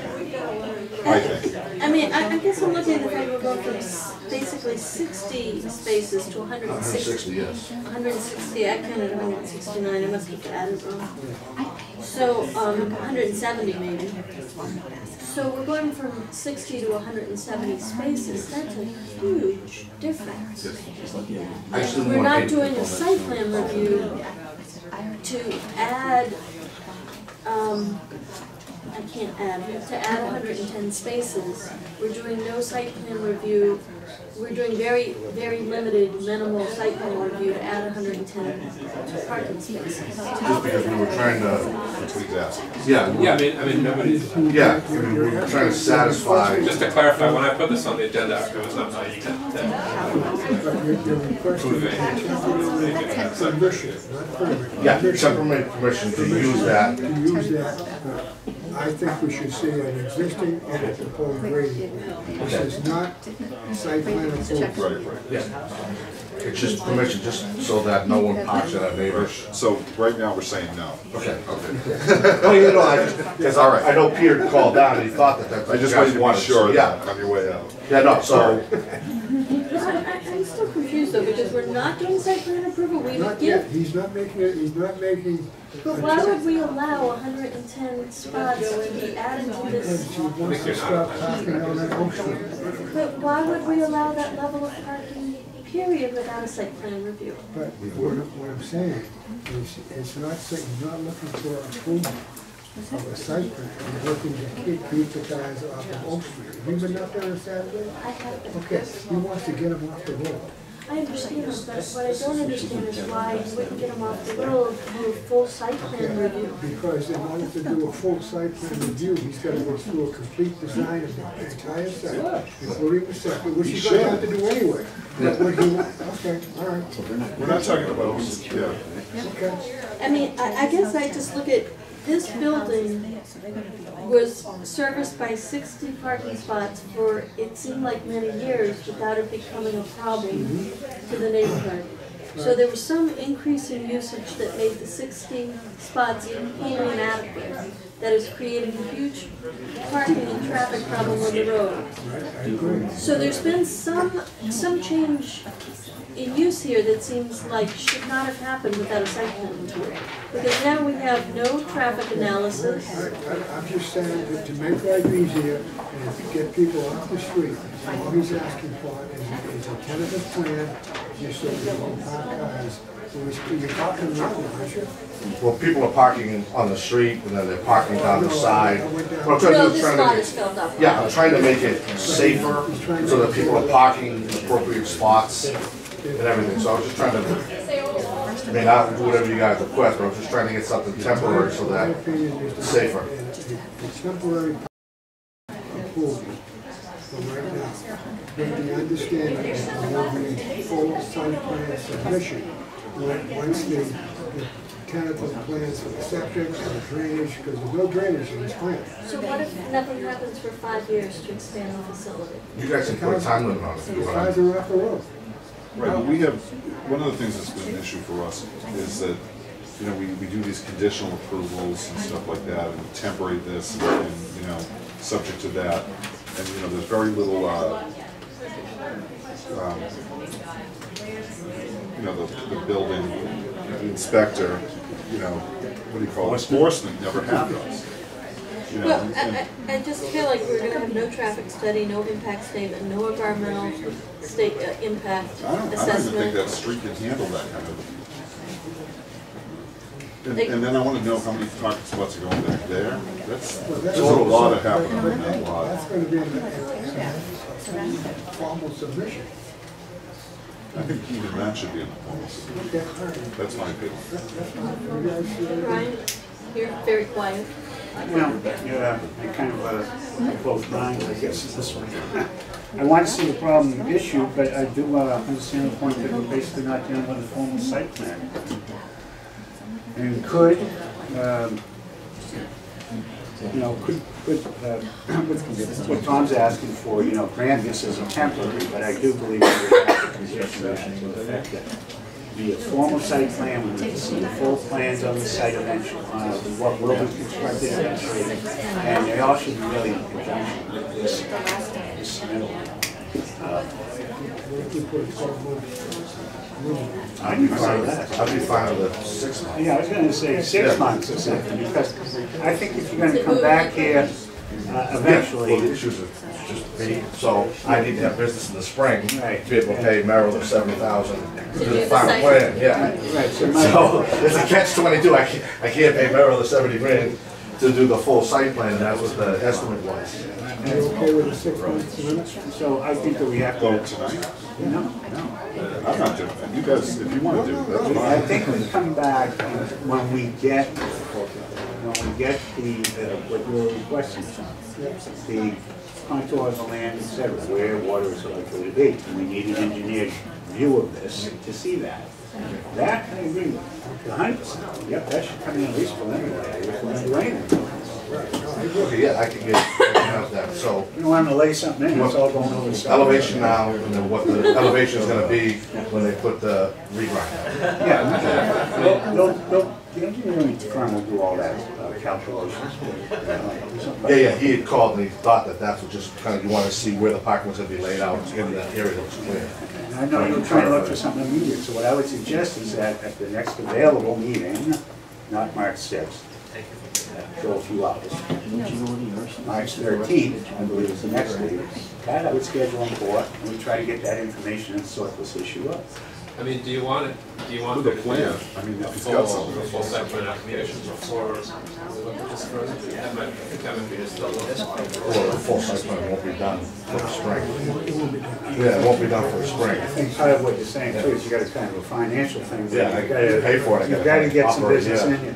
And that's my concern as well, is what are we gonna do, we'll say between, probably a busy turning season might be something like March fifteenth through May fifteenth. Yes, the end of March April, May. Right, so, And that's, you know, this is when, if we had something for you by March thirteenth, we might be able to get something like that.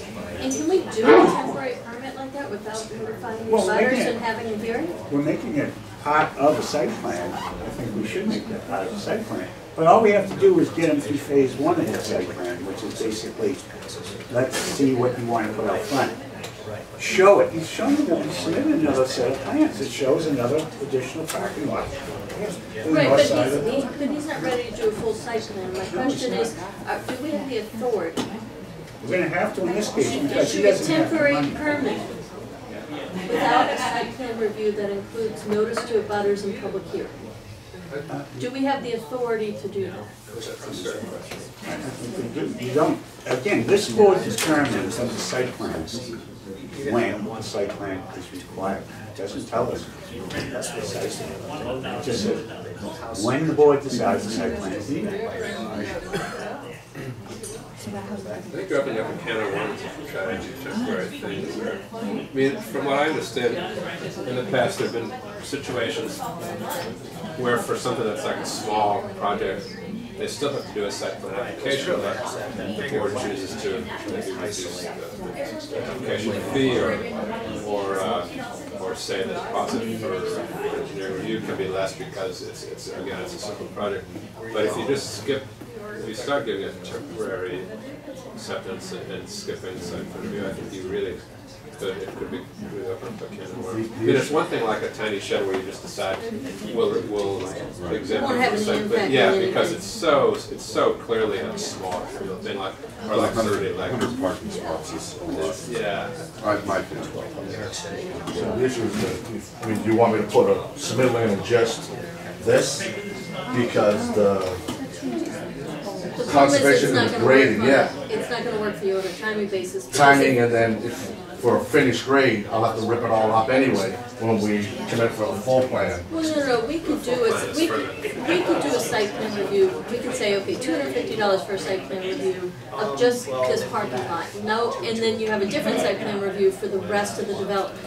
And, and what, what Matthew's saying is that we could do a very simple site plan review for mm-hmm. two hundred fifty dollars, say, we're not gonna require engineering review, we're just gonna do a very simple but the problem with that for you in terms of your timing is that we're here now on February twenty-seventh, and even a small site plan review would- would require notice to the abutters. In a public hearing, which means we're, what, twenty? In the middle of April. Yeah, you're middle of April. So that's, that's our problem. All right, so we, Um, we so gotta get on to what this are we gonna next do? public hearing. So are we gonna require a site plan, or are we gonna I would. put it on March thirteenth for a discussion as to some temporary approval? Hmm. Up to you. You guys, you Yeah. Do you want to, to discuss this next week? No, I think we've beaten it to death. No, but are we gonna, are we gonna bring it up on the thirteenth with an improved plan? If we're gonna try to do something to get the traffic off the road, we've gotta accelerate his application. Right. I don't care if it's under site plan at this point or not, technically. I do wanna see whatever gets constructed, was to be constructed here though, has a plan beneath it. I don't wanna just see something thrown on the ground that three months, two months later is washed out, washed away and what have you, and just looks like a mess still. So, I'd like to see something that says this uh, can be constructed safely, and that, yes, it is temporary, and that you intend to come back at some point in the future and complete a final plan for this project once again. Yeah, like I said, I was just trying to make it, everybody off the street.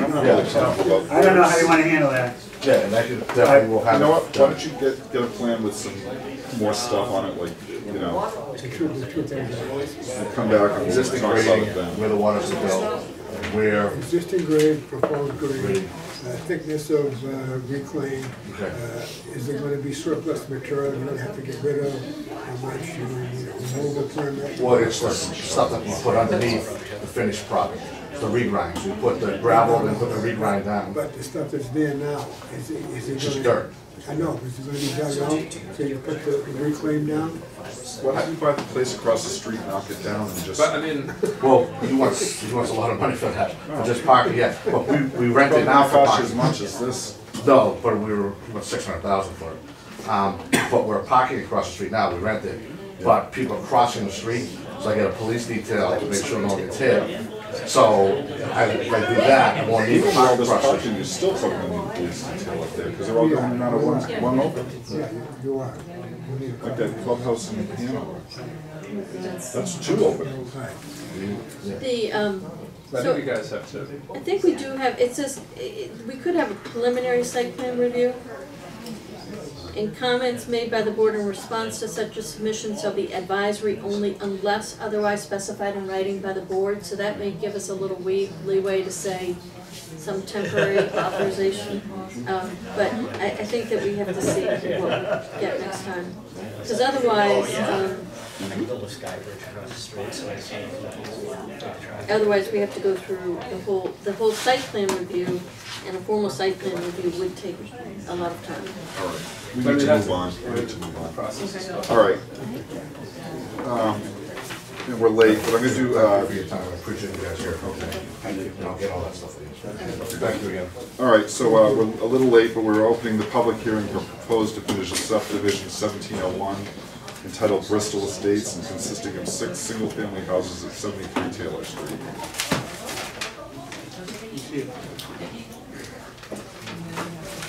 Somebody here from Taylor Street? Where? Hi.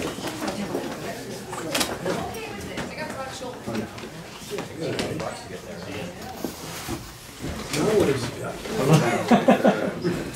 Actually, it's kind of like a do-over. Have we got a set of plans submitted and all? We do, we've got the full submittal. Also in your packets, there are the comments from uh, Tyler Nims, so I think this is towards the bottom of your packets. I don't even, I don't even know. Uh, What's, the comments from Tyler Nims and the, um, the reply to his comments, the request for waivers. Um, I've got the drawings here, but I suspect she's gonna put them on an easel. Well, yeah, I think we need to, I, I don't even know, have you guys seen this in one? No. Okay, so we don't know. First, it's first blush. You're starting it uh, Yep, Tyler did give us a letter, Two technical, two letters about technical review of, um, and we also have a, Because I'm not even really, where on um, Taylor Street is this? response from, Oh. Right there, Beverly, right? Seventy-three Taylor. that helps you, this is, this is. You know where the uh, East Pembroke Community Club is, the little schoolhouse? Okay, A Couple of doors up, a couple of doors to the west. okay. Uh, The community center would be just to the right of that area that's Where, shown in where is, red. where is fifty-three? Oh, way up to your Okay, left. all right. Uh, You're wrong, ma'am. It's Oh, way over sorry. here. Yeah. I- One thirty-nine, et cetera, Yeah. would be going more Right up there. Elm Street. This is This is fifty-three, yes. Yeah, I think that's right. This is off of Okay. Taylor Street? All right, Okay, Yeah. all right, you know, gotcha. okay, Okay. good. All right, thank you. So, okay.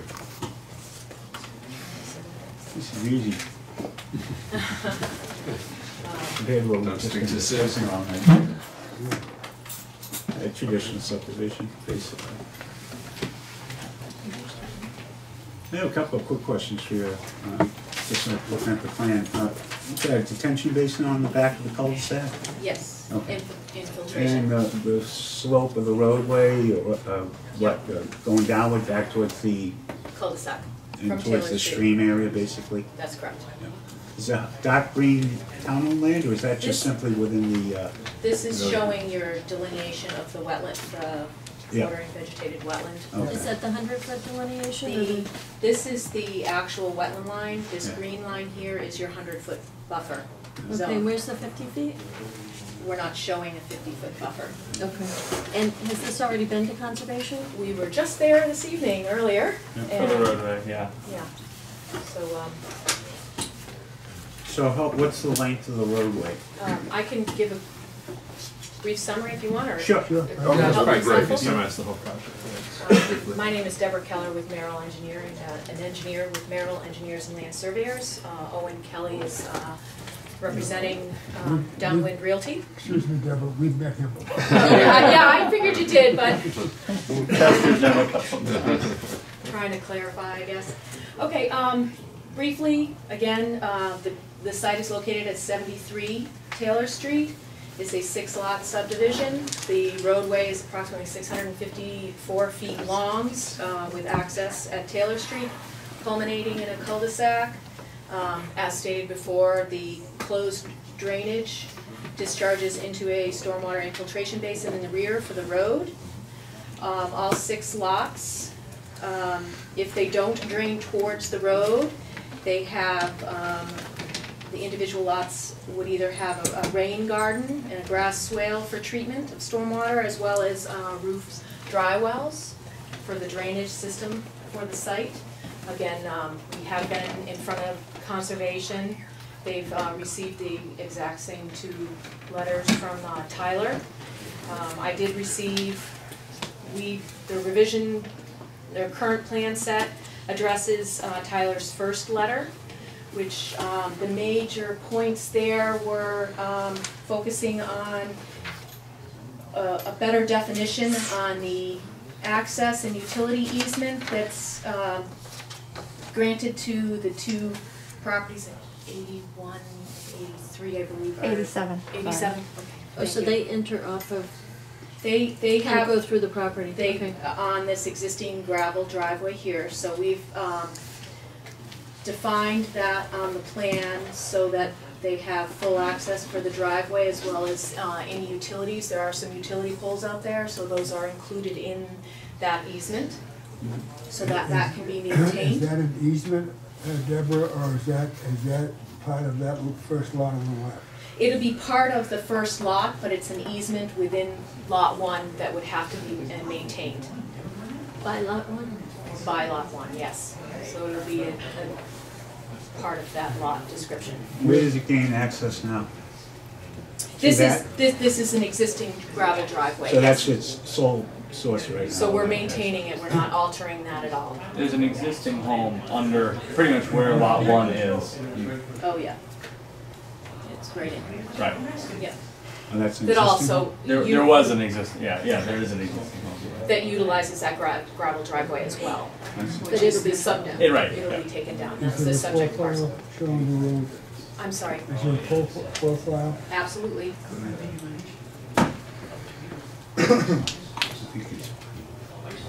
How many houses or lots are currently served by that gravel? Just two? Right. There's the, cur- the, the subject site plus the two additional. Two additional. other ones. So this is the road profile for the Okay, subdivision. so, so coming in, it's a fill, and then you're cutting, it looks like about eight or ten feet through that hill. There's a little knoll there, Yeah. yes. And then coming back down. So that this, this is, um, this is the end of the cul-de-sac right here. Right. So this laps, uh, wrap This is a- about breaking even with the road fill. Yeah, no, you're gonna, you're gonna end up at at Between the here. same place, the only thing is that, that, that station near the, at the hill, you're gonna end up, uh, having to cut the lots out too. understand? That, that knoll is right about here, and it, so it drops down on this side, so you won't have that same impact. Here, we're, um, cutting it down two to four feet in and around the, the existing home. What about the two houses on the right, are they, are they fill or cut? These two? No, the- no, the first two, I'm sorry. on the right. Your right or her right? On, on the right of the road. Um, here, Those- these two, those two. they're filled. They would be filled, so they have walkout conditions in the rear. Yeah. And as, as this, the site drops in a northerly, yep, northerly direction here, and in a, um, westerly direction in this direction, towards the wetland. So we did, um, one of the additional things we, so we did uh, some additional research on the utilities for the uh, gravel driveway. Um, per uh, Tyler's comments, as well as provided sight distances um, at the intersection, so we can adequately provide AASHTO required sight distances for the entrance. Um, Some minor construction detail edits, um, clarification on some um, class five drainage pipe. So um, I think in particular, that goes to the the three waivers that we were looking for the board that I believe we have this uh, Tyler's support on.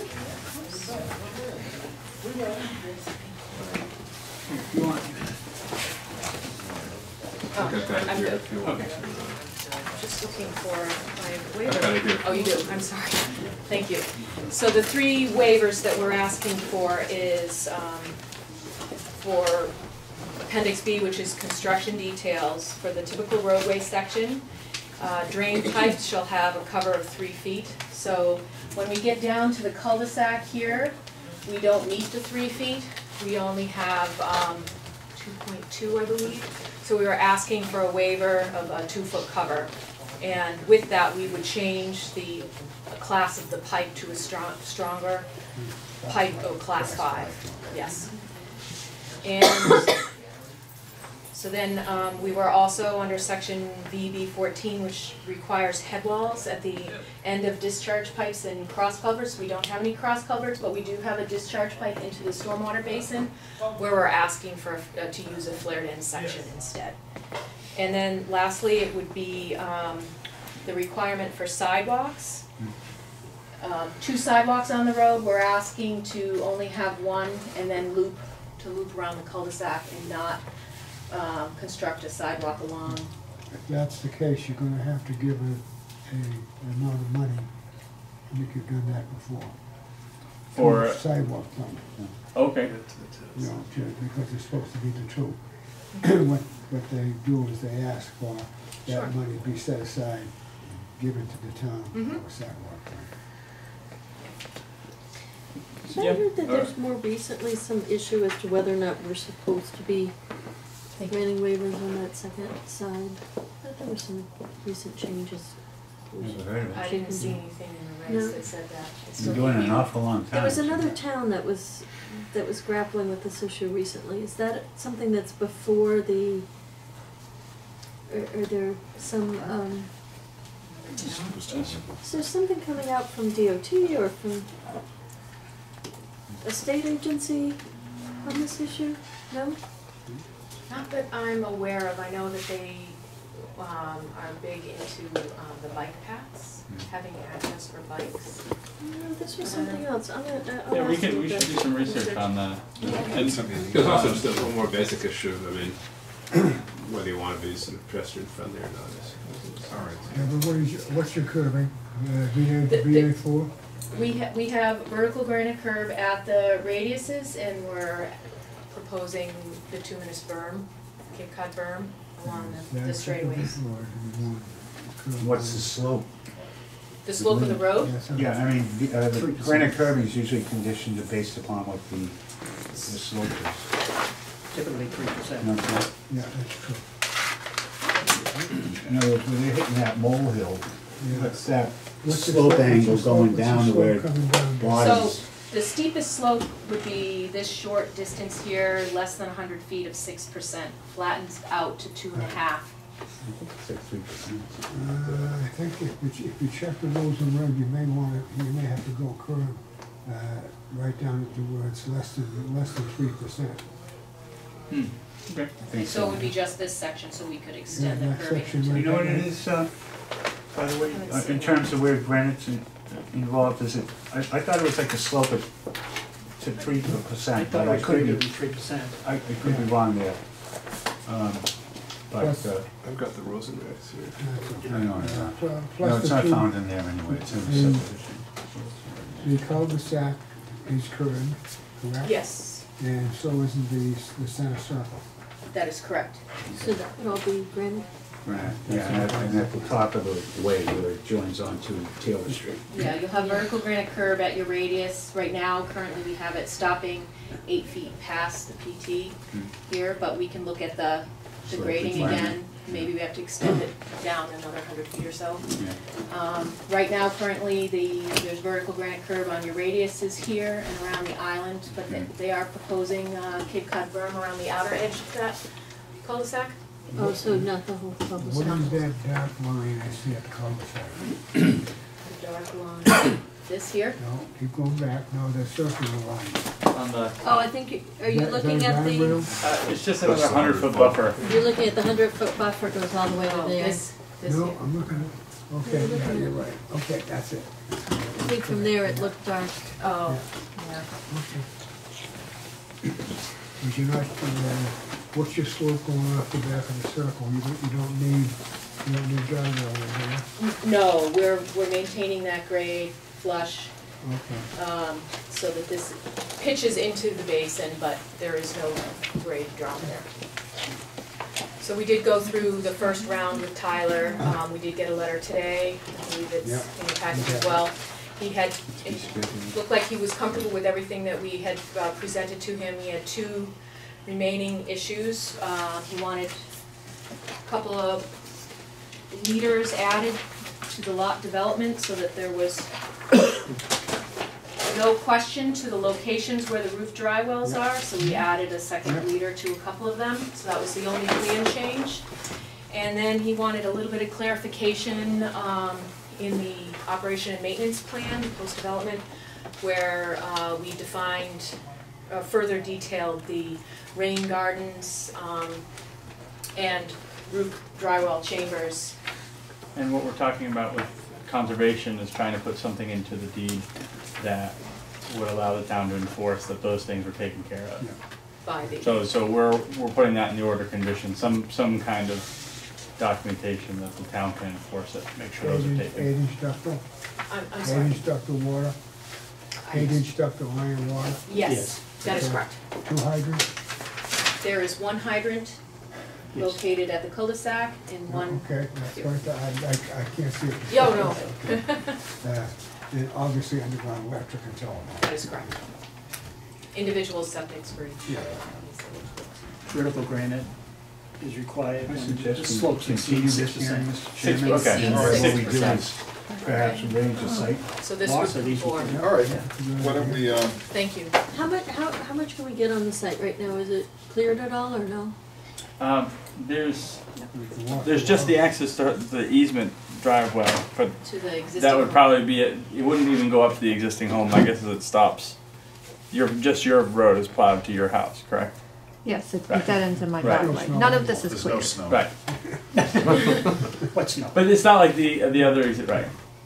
So not really good access Should right now. It's pretty open additional down quarter there. feet, though? Did any It's pretty open. before we continue the hearing, did, uh, were there any abutters who wanted to say anything? Yeah, got a couple of questions. Um, how are you addressing the drainage problem coming off the cliffs there? Because we live across the street from it, Where do you? and we are, This, this we're, rendition we're a here, good yeah. thirty feet higher than the street. We're at seventy-two. I mean, Yeah. we're, we're dead across from where they're, where There's that a lot of runoff that comes down there, which then turns into ice in the wintertime. That's a very, Comes off your Oh, property or? yes, Nope, uh, no, not no. off ours, No, but no. It down runs- around the corner. It runs down entire Taylor Street. Thank you. Right by the house, right where I, where this development is gonna go. It's a dead, blind curve in the road, as it is. So we're adding additional traffic, um, coming and going. North up Taylor Street or south down Taylor Street? We are dead across They're from across. that. No, no, no, no, the, where the water is coming from. Um, Down the hill. To the This is- left. Okay. Taylor Street yeah. is depicted Yeah. as just kind of a straight line there. That's actually at a curve, and their house is located at the curve, so that's what makes it kind of a blind corner. Um, and then Right you across from add there. sheet of ice in the wintertime that runs the entire side, on our side, not that side, as people coming around the corner. And it's so much so that the town keeps a barrel of sand across the street where this, where this is gonna, exactly where this is gonna go. On So, your plan, just does adding. this show two, I uh, it to them. drain, drains at probably the top of the, co- at the top of the, uh, road outlet, you know, at, at that access point? What do you have in there? We don't have any drainage here because this road from Taylor Street drains towards the cul-de-sac. No. So we're not. Where's the ice accumulation? Right now it drains all the way down Right. Taylor Street. Correct, but the, the new road is gonna drain, Taylor Street is gonna be the It high doesn't cross the point. road. It stays The water on doesn't go this side of the road. Okay, so it's So it's staying. crowned on their Yeah. side. Correct. Yeah.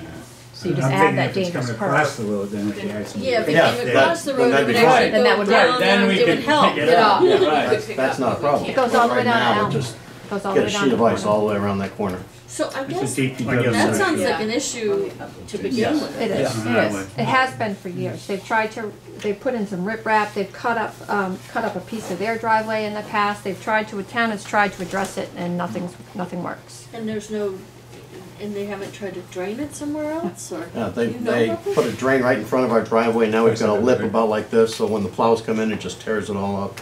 It, it's a It's fine. It just runs right past it down. It goes all the way down Elm Street. It's the Duxbury line, right at the corner. This might actually provide the town with an option, maybe they somehow do connect. Well, that's what I'm wondering, is if the town Yeah. could take a drain yeah, from let me- Taylor Street to Go under, connect go into under, the Ta- drainage go under system. Taylor and hook up Let me and talk send it to, down. um, let us talk to Tom. Do you have any Only extra Paul room is in here. your That's what he- rainwater Yeah. system? Tom would be the one to ask. I'll have to see what the flow is, Yeah. but, you know, we design it for a hundred year storm event, Our goal is definitely to help out, is, you know, make it all better. but I see Uh, Tyler behind you. What I was gonna I know is that, uh, that there was site plan, I know that- Okay.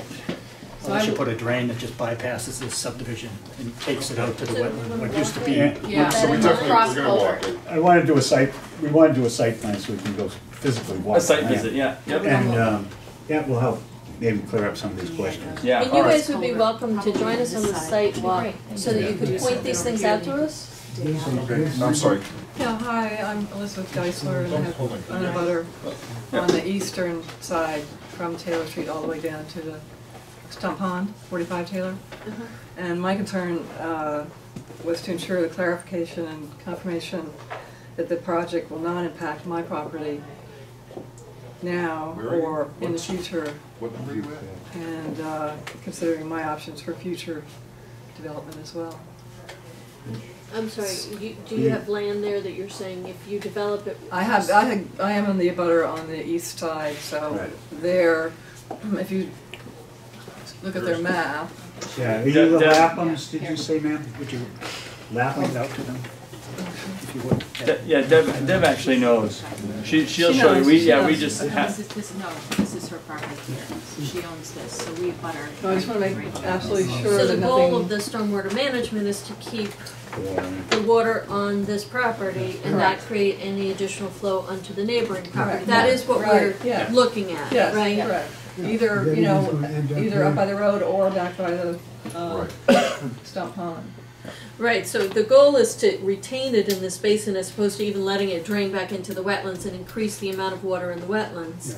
It's supposed to stay into this What it's basin. supposed to do. That- but- yeah, and that's what it's designed for, yeah. Okay, yeah, that's what the design is. And the individual houses that are on that side, How about on a your gate side, I for us, guess, I will also All right, have. uh, so, uh, So if something does happen. Yeah. Saturday, wanna do a Saturday? Maybe Saturdays don't work for me, but if, if you can do a Sunday. It really should. Saturday? I mean, I'm not a geologist, so like that doesn't. It doesn't matter, I mean, I can make myself well, available. I'll tell you. We've got one more butter, I think. who wants- Oh, I'm sorry. Sorry, I, I rudely interrupted him earlier. Sorry, I'm Kara Connolly. I live at 81 Taylor Street. If I, could I Are you the one whose access, driveway is? yes. Okay. This is the question I have. I uh, obviously, I have not heard from develop. This is me.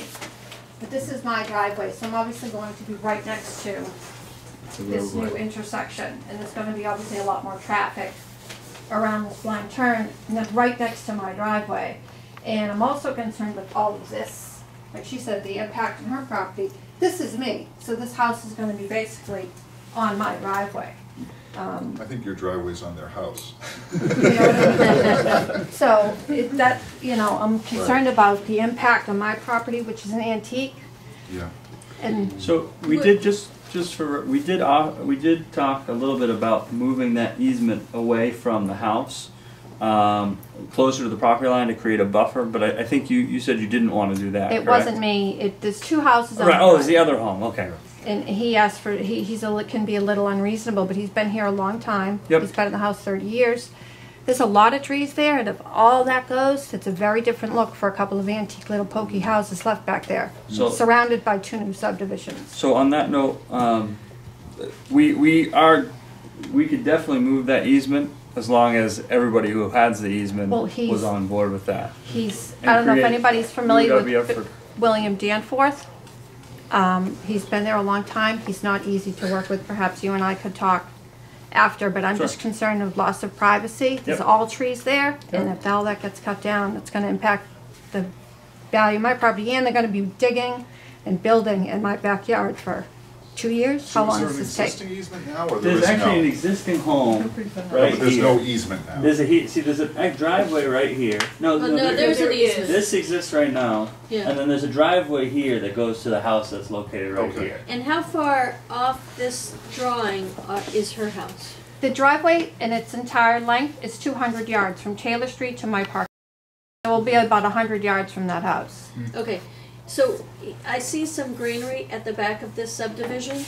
How much of the buffering, buffering vegetation, and part of what we will be looking at is buffering vegetation. So how much of the buffering vegetation it will remain when the subdivision is built? The, we're looking at this, this, the twenty-five foot setback here. Yeah. For the grading on lot two, which is where the existing home is now, the current vegetation comes up and wraps around the house, so you are clearing for a backyard.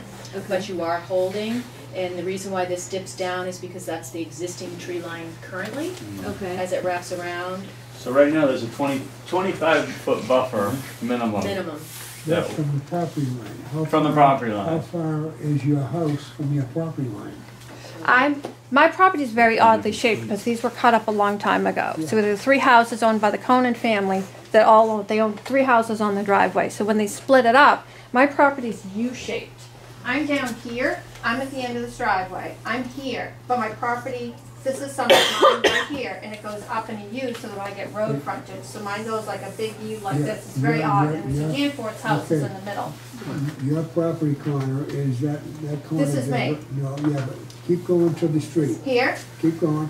yep, That's your property corner. no, I own a piece of this, I own, No, no, you don't. Here, have it that. gets You have Mr. an easement Danforth, there. the Conants is there, Mr. Danforth is here. He owns this side of the gravel drive, I own this side of the gravel drive. Just for clarification, anything that's in color is part of this, the seventy-three Taylor Street Okay. property. But you have an easement. You would, have you the- have, You the- have an you have, easement. the- you have this Correct. easement, and your property line would be somewhere in here where you'd have that U. Yes, I'm here, Yep. and then Mr. Yep. Danforth's next to me, and I'm also Correct. down here. 'cause Correct. I'm on, yes, I'm there also. Yep, yep. So, so, um, we, you know, it makes sense for both, or, and for the property here to maintain some kind of buffer between the two. So we're not doing, like, this, this whole area here has been cut because there's an existing gravel driveway here.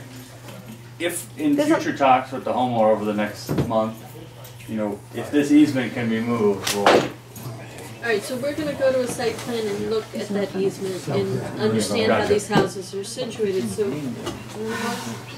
Okay. All right, why don't we, Sunday,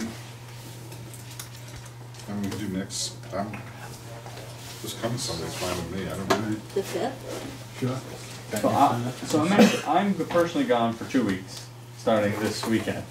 Um, but I can talk to, let me talk to Tom, and then get back to Matthew, because I'm sure he could meet you guys out there, or we could meet in. I mean, all we need um, is somebody to bring bring us yeah, onto he's the right, site, we're right. just gonna walk it. Right, We're yeah. It'll just make us, you know, when you guys are talking about the drainage and you're talking about the house, it'll make sense to us when we're physically there. Okay. And All visually right, see so it what, all. you wanna do Sunday the fifth? Yeah. All right, what a.m.? time? Ten? Ten AM. Ten o'clock. Ten o'clock, March fifth. And where are you gonna be? It's a Sunday. It's, Somewhere sunnier? Sunnier, yeah, or somewhere else. Seventy-three Taylor Street, and we're gonna lodge an objection that you're allowed to take a vacation. Wi-Fi school vacation. Oh, yep. All right, so why don't, um, So I'll continue this hearing, this is formal, correct? yes, so why don't you make an Um, a motion to Continue continue? continue public hearing to what's the next available, is it March thirteenth? Um, Well, How do you stand on the yeah, thirteenth? let's take a look here. You're gonna be gone for two weeks? Yeah, yeah, so the twenty-first would be, is it the twenty-first? No, twentieth. Around the twentieth you'll be available. Yeah. Okay. So our first is available after, Oh, 10 AM, Sunday, March fifth, Yeah, at seventy-three Taylor Street. seventy-three Taylor. this is, So, we'll be there this Sunday at ten AM. And If you if guys Meryl, want. if Meryl has trouble getting a rep, we'll, we'll let Matthew know. I'm sure between Tom and Yeah. myself, we can. We've done a lot before too, so. All right. But if you guys wanna be there, that's Um, fine. So, but so yeah, so, close. The continuation, then we Yeah. only have to go to March twenty-seventh. okay, so it sounds like we're already continued to next Monday, March sixth. Um, for these two, um, these Public two hearings. zoning, these two zoning public hearings. Don't do anything else. Don't do anything else. Yeah, okay. So We have the on the next available 13th. date after the thirteenth, if we went two weeks, would be March twenty-seventh. So let me. So we yeah. could, I mean, yeah, I mean, March twenty-seventh. Unless you wanna, unless you wanna put in, I don't, I don't know, Yeah. March twentieth, but yeah, March, so far, March twenty-seventh is totally open. So, Um, why don't we continue the hearing until seven o'clock, seven? Seven P M, March twenty-seventh. All right, I so mean, that's a does- motion, I'll make that motion. That does, I mean, that does, that's fine. I don't know when the original submittal was, um, I guess we probably, I think we have hundred and thirty-five days for We're subdivision, well so under we it. have a lot. All right, so worry about it. we have a I don't think motion you're for gonna- you're gonna have that a twenty-seventh and seven P M, second. Right. All in favor? Aye. Aye. Who's, uh, quick question, uh, who's the first person to talk to about the sidewalks and I'm gonna s- do some looking on the state regulation on the two sides. Yeah. Like you were saying, there's a case coming, cause if there's something coming up, let's comply with it now. Well, Um, I'm not sure.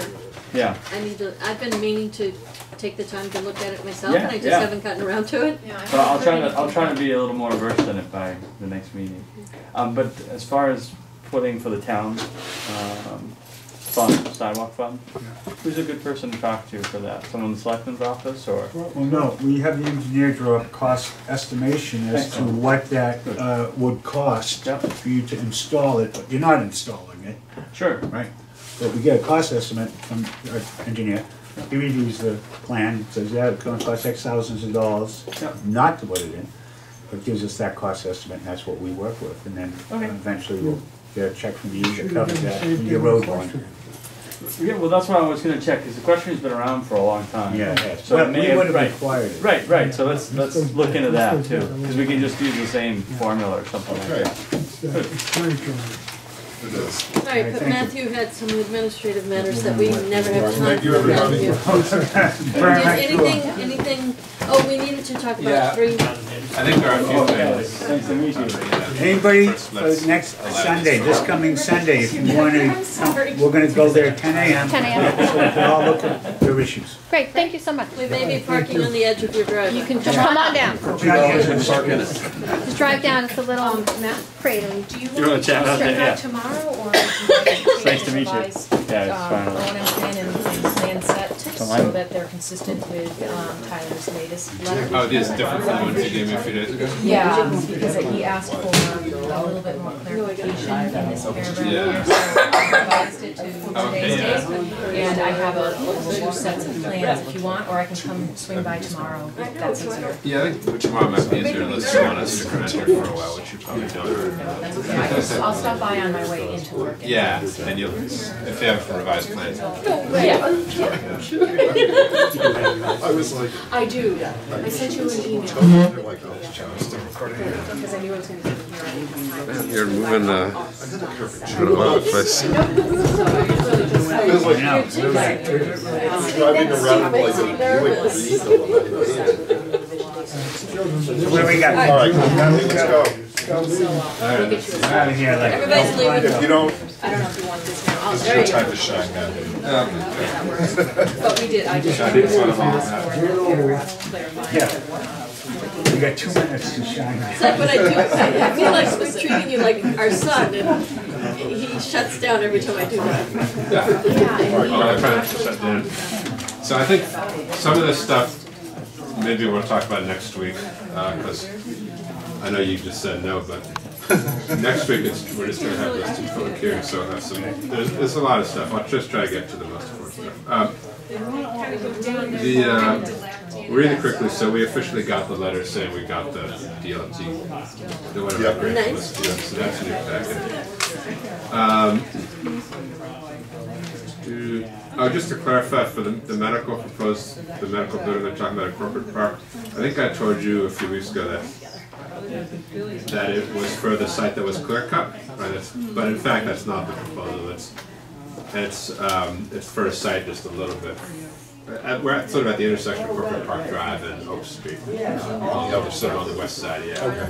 Uh, so just a trivial thing, it's, it's- at the moment, that's just sort of discussion, but it sounds like it might be serious. Um, so, um, Sabrina says you guys need to actually vote to recommend road for equestrian estate, for equestrian way and the part of Pheasant Lane, that, that's paved.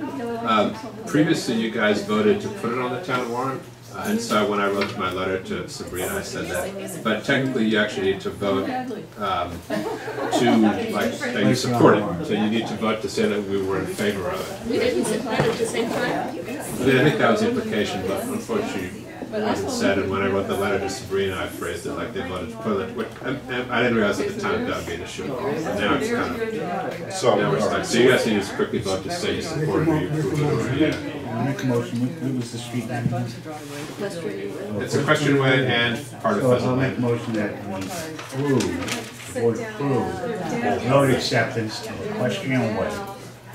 The, on the article, uh, meet, town meeting article, uh, And part of Pheasant Lane. Do we need to approve that it be on the warrant, or do we need to, we need to vote for, But they support it. vote for that we support it being- yeah, the you support it acceptance being and passed. approval? Yeah. we voted once down to put it on the warrant, that's fine, that's the process. But we have to also, we're signed up whether we approve it. All right. And that's what we're asking for, that's what he's So asking. you already did that, so you- somebody want to second this? All in favor? Aye. Aye.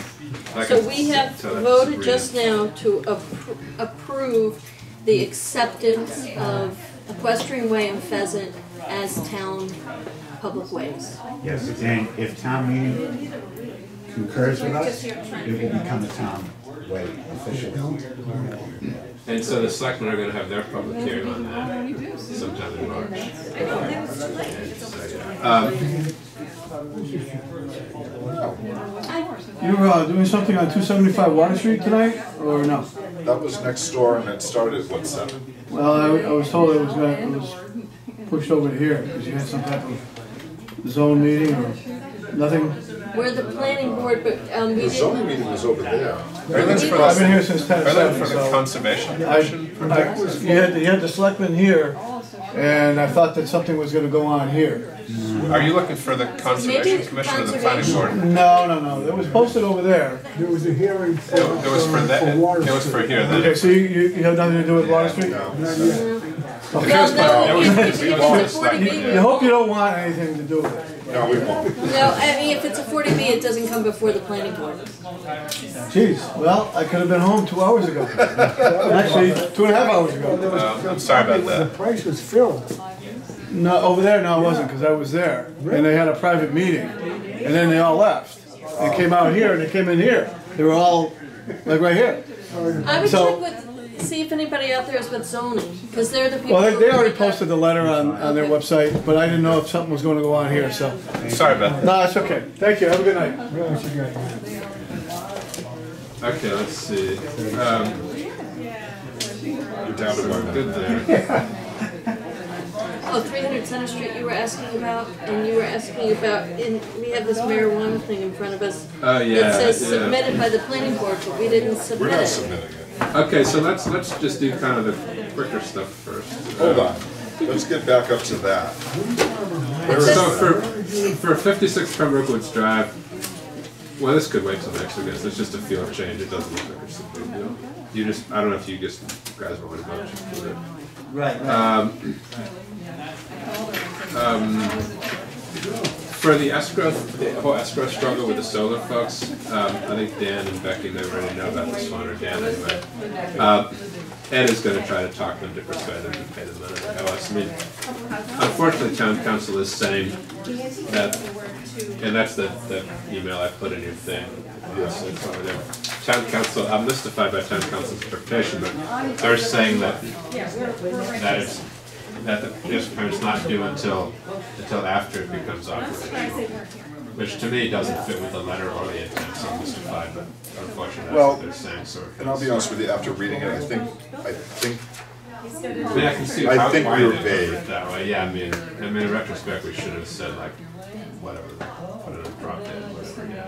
You know, I think we we're trying to string too many thoughts into one Yeah. sentence and, and it made the two pieces of it. Yeah. It made it, it, it wasn't vague, but it was debatable, like. I thought it was a condition of the approval. Well, it was.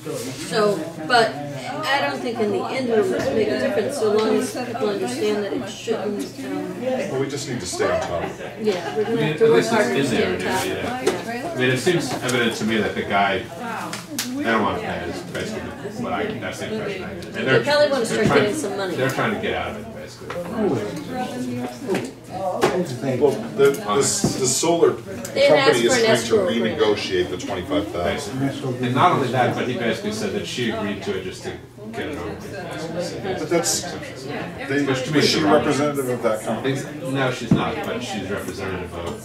But it was a condition of our The applicant. approval, and it was a condition of us not requiring a Exactly, landscape plan. Yeah. And the landscape plan would have cost thousands of dollars in and of itself and would have delayed their timing. And We bent over backwards we to bent over that. backwards to get that through quickly, retaining the, retaining the discretion to ensure that the abutters and the visual impact of the roadway and the passersby would be minimal. Yeah, to me, the whole thing is. Well, I, I guess, and I, I read one of the emails from this gentleman who, I don't even know who he is, because I don't think he's ever been before us, and he's stating that, you know, that kind of need to be renegotiated to something that both parties can live with. And I'm like, Okay, we Yeah. can live with. yank it, I guess, I don't know. Well, Ed's gonna work on it. Yeah. You were there, right? Um, We could get ourselves out. So then, um, So let's talk marijuana. What, what is this marijuana bylaw, and why is it saying submitted by the planning board when we didn't No, no, that's, submit that's, anything? zoning change? that- I'll, I'll explain that, yeah, just a sec. Then the Uh, planning board has to. I think What you if we're better jump not? to it, Matthew. No, we don't agree. So it, first of doesn't all, get to town warrant, there's doesn't also- go to the town floor. There's also a proposed, uh, a proposed bylaw for right to farm, but that's not a proposed zoning bylaw, that's just a proposed town bylaw. Uh, I'm putting it in your packet just because it would have a lot of repercussions. The idea is, uh, it's not coming from, I don't think it's coming from the selectmen or everybody in town, it's maybe coming from some of the local farmers, maybe or something. Uh, so I think some of the people in town hall are not enthusiastic about this. So I've it actually found that these right to farm, um, bylaws are helpful in towns where you have this sort of conversion to rural and suburban. So I, I tend to be in favor of them, but I haven't read this one. I'm, I'm told that it's, that it's sort of excessively broad, although that might not. I see the farming one, yes, in. The farm leaves like that. Yeah, this is a good one. February twenty-second, Okay, is. So that's probably something that'll come up at town meeting, and so maybe the planning board wants to take a position, or maybe not. But just to sort of make you aware It it. has to, we can't emphasize enough. You can't get any, oh, I'm sorry, was that a town bylaw? That's a town Yeah, bylaw, not a it's a town zoning bylaw, bylaw, yeah. That So we doesn't- don't have Oh, to. that- oh, We could Taylor though. Street? Yeah, well, across the street's in there. Okay, so now for the big one, yeah, the, the marijuana thing, which is driving everybody crazy. Um, so for that one, I wish Andy was here, that one comes out of, He, he kind of spoke to this at our last meeting where they, the, the so-called, you know, yeah. committee. So that's coming out of that committee, and especially, I guess, out of the chief of police. Um, Well, I- S- Sabrina, We got this Sabrina prepared that thing on the first page, so I don't know why she typed in planning board supports it, except I think as like the way it would potentially read if it were on the warrant, but that wasn't me with that. Well, but Brian's saying that if it's a zoning bylaw change, the only way it gets on the warrant is if we submit it. But how can we submit it if we haven't even had a public hearing? Well, that, so that's the thing is. Is we. This is like the medicinal marijuana thing. So would we have to do a public hearing? Well, I think you probably do, yeah, because at this point, Becomes a it seems zoning that bylaw. it's been, it's now been submitted by that committee. If you really look at where that water comes from, I This is to reject. still. Yes. Yeah. It's Put a moratorium. prohibited, yes, to prohibit Prohibit it. the, uh, What happens when you put a moratorium though, as opposed to creating a zoning district for? Sometimes you're better off having a designated district. You know, I guess, and I- I'm gonna say this, because we went through this with the medicinal marijuana issue. This- It was like a knee-jerk thing that they threw in there without letting the state come down with the law. Um, And you know what, two percent is not a mandate in this town to, to ban it outright, so I guess. What, I don't understand two Two- percent. I, I think it lost by two percent. Oh, you mean like the, Popular vote, fifty-two to forty. that we, that people in this town did not want the marijuana recreational. Right. I don't we're part of the state of Massachusetts, which is. They should just, they, and they've tried, It's to dig a the trench. legislature has put it off a year and a half. Right, so why don't, why Why don't don't we? we just follow suit? Wait, and see what the regs look like. Because then when the regs come That's what we out, did with medical before the regs come out, we don't know what we're reacting against or what the regs are going to require us to do. Or I allow will, us. I, I am interested in inviting, we do have a public hearing, I'll invite that guy down. Uh, Or I think the Pembroke Selectmen had sent a letter to the State House saying they were opposed to the marijuana law. i think like this You know, he kind of said, well, you know, shouldn't they be handling municipal issues instead of getting their, weighing in on their, with opinions at the State House? Um, But, you know, one of the, one of the arguments has been that, you know, the police, how will they, um, Check. you know, how will they, you know, pull people over, how will they be able to test them and stuff like that? Um, You know, and, and kind of, this guy was saying, well, you know, what have they been doing for the last twenty years?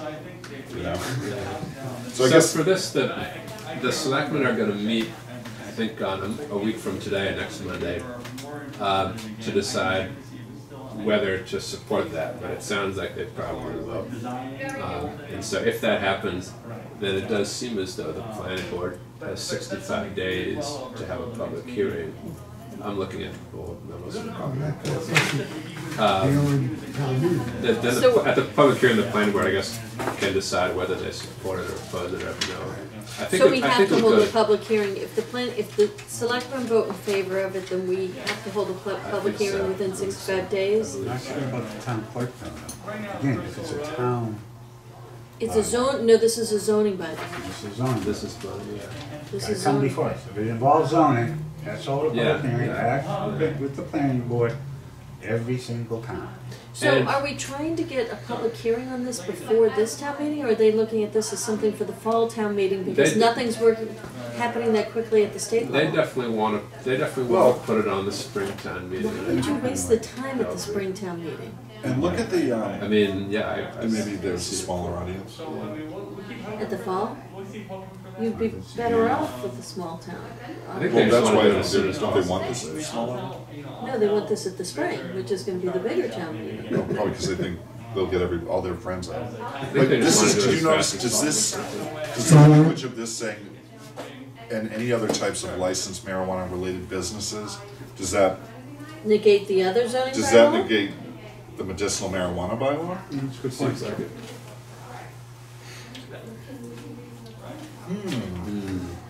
Hmm. Checkmate. Well, not to No. mention the Well, If the fact, zoning bylaw and we don't approve it, it's Yeah. not even gonna get onto the floor. Are you sure? Yeah. So if the planning board, They can The turn board around, has to provide they can an do a office. citizens one. Has to either provide. then it wouldn't, then it wouldn't go to town meeting, it wouldn't even. Look how we, how we, how how we dealt with the medical marijuana one. Right. We held a public hearing you. It became clear that the state had not issued regulations regarding it. Right. I said, let's continue the hearing until the state provides regulation back to us defining this medical marijuana thing.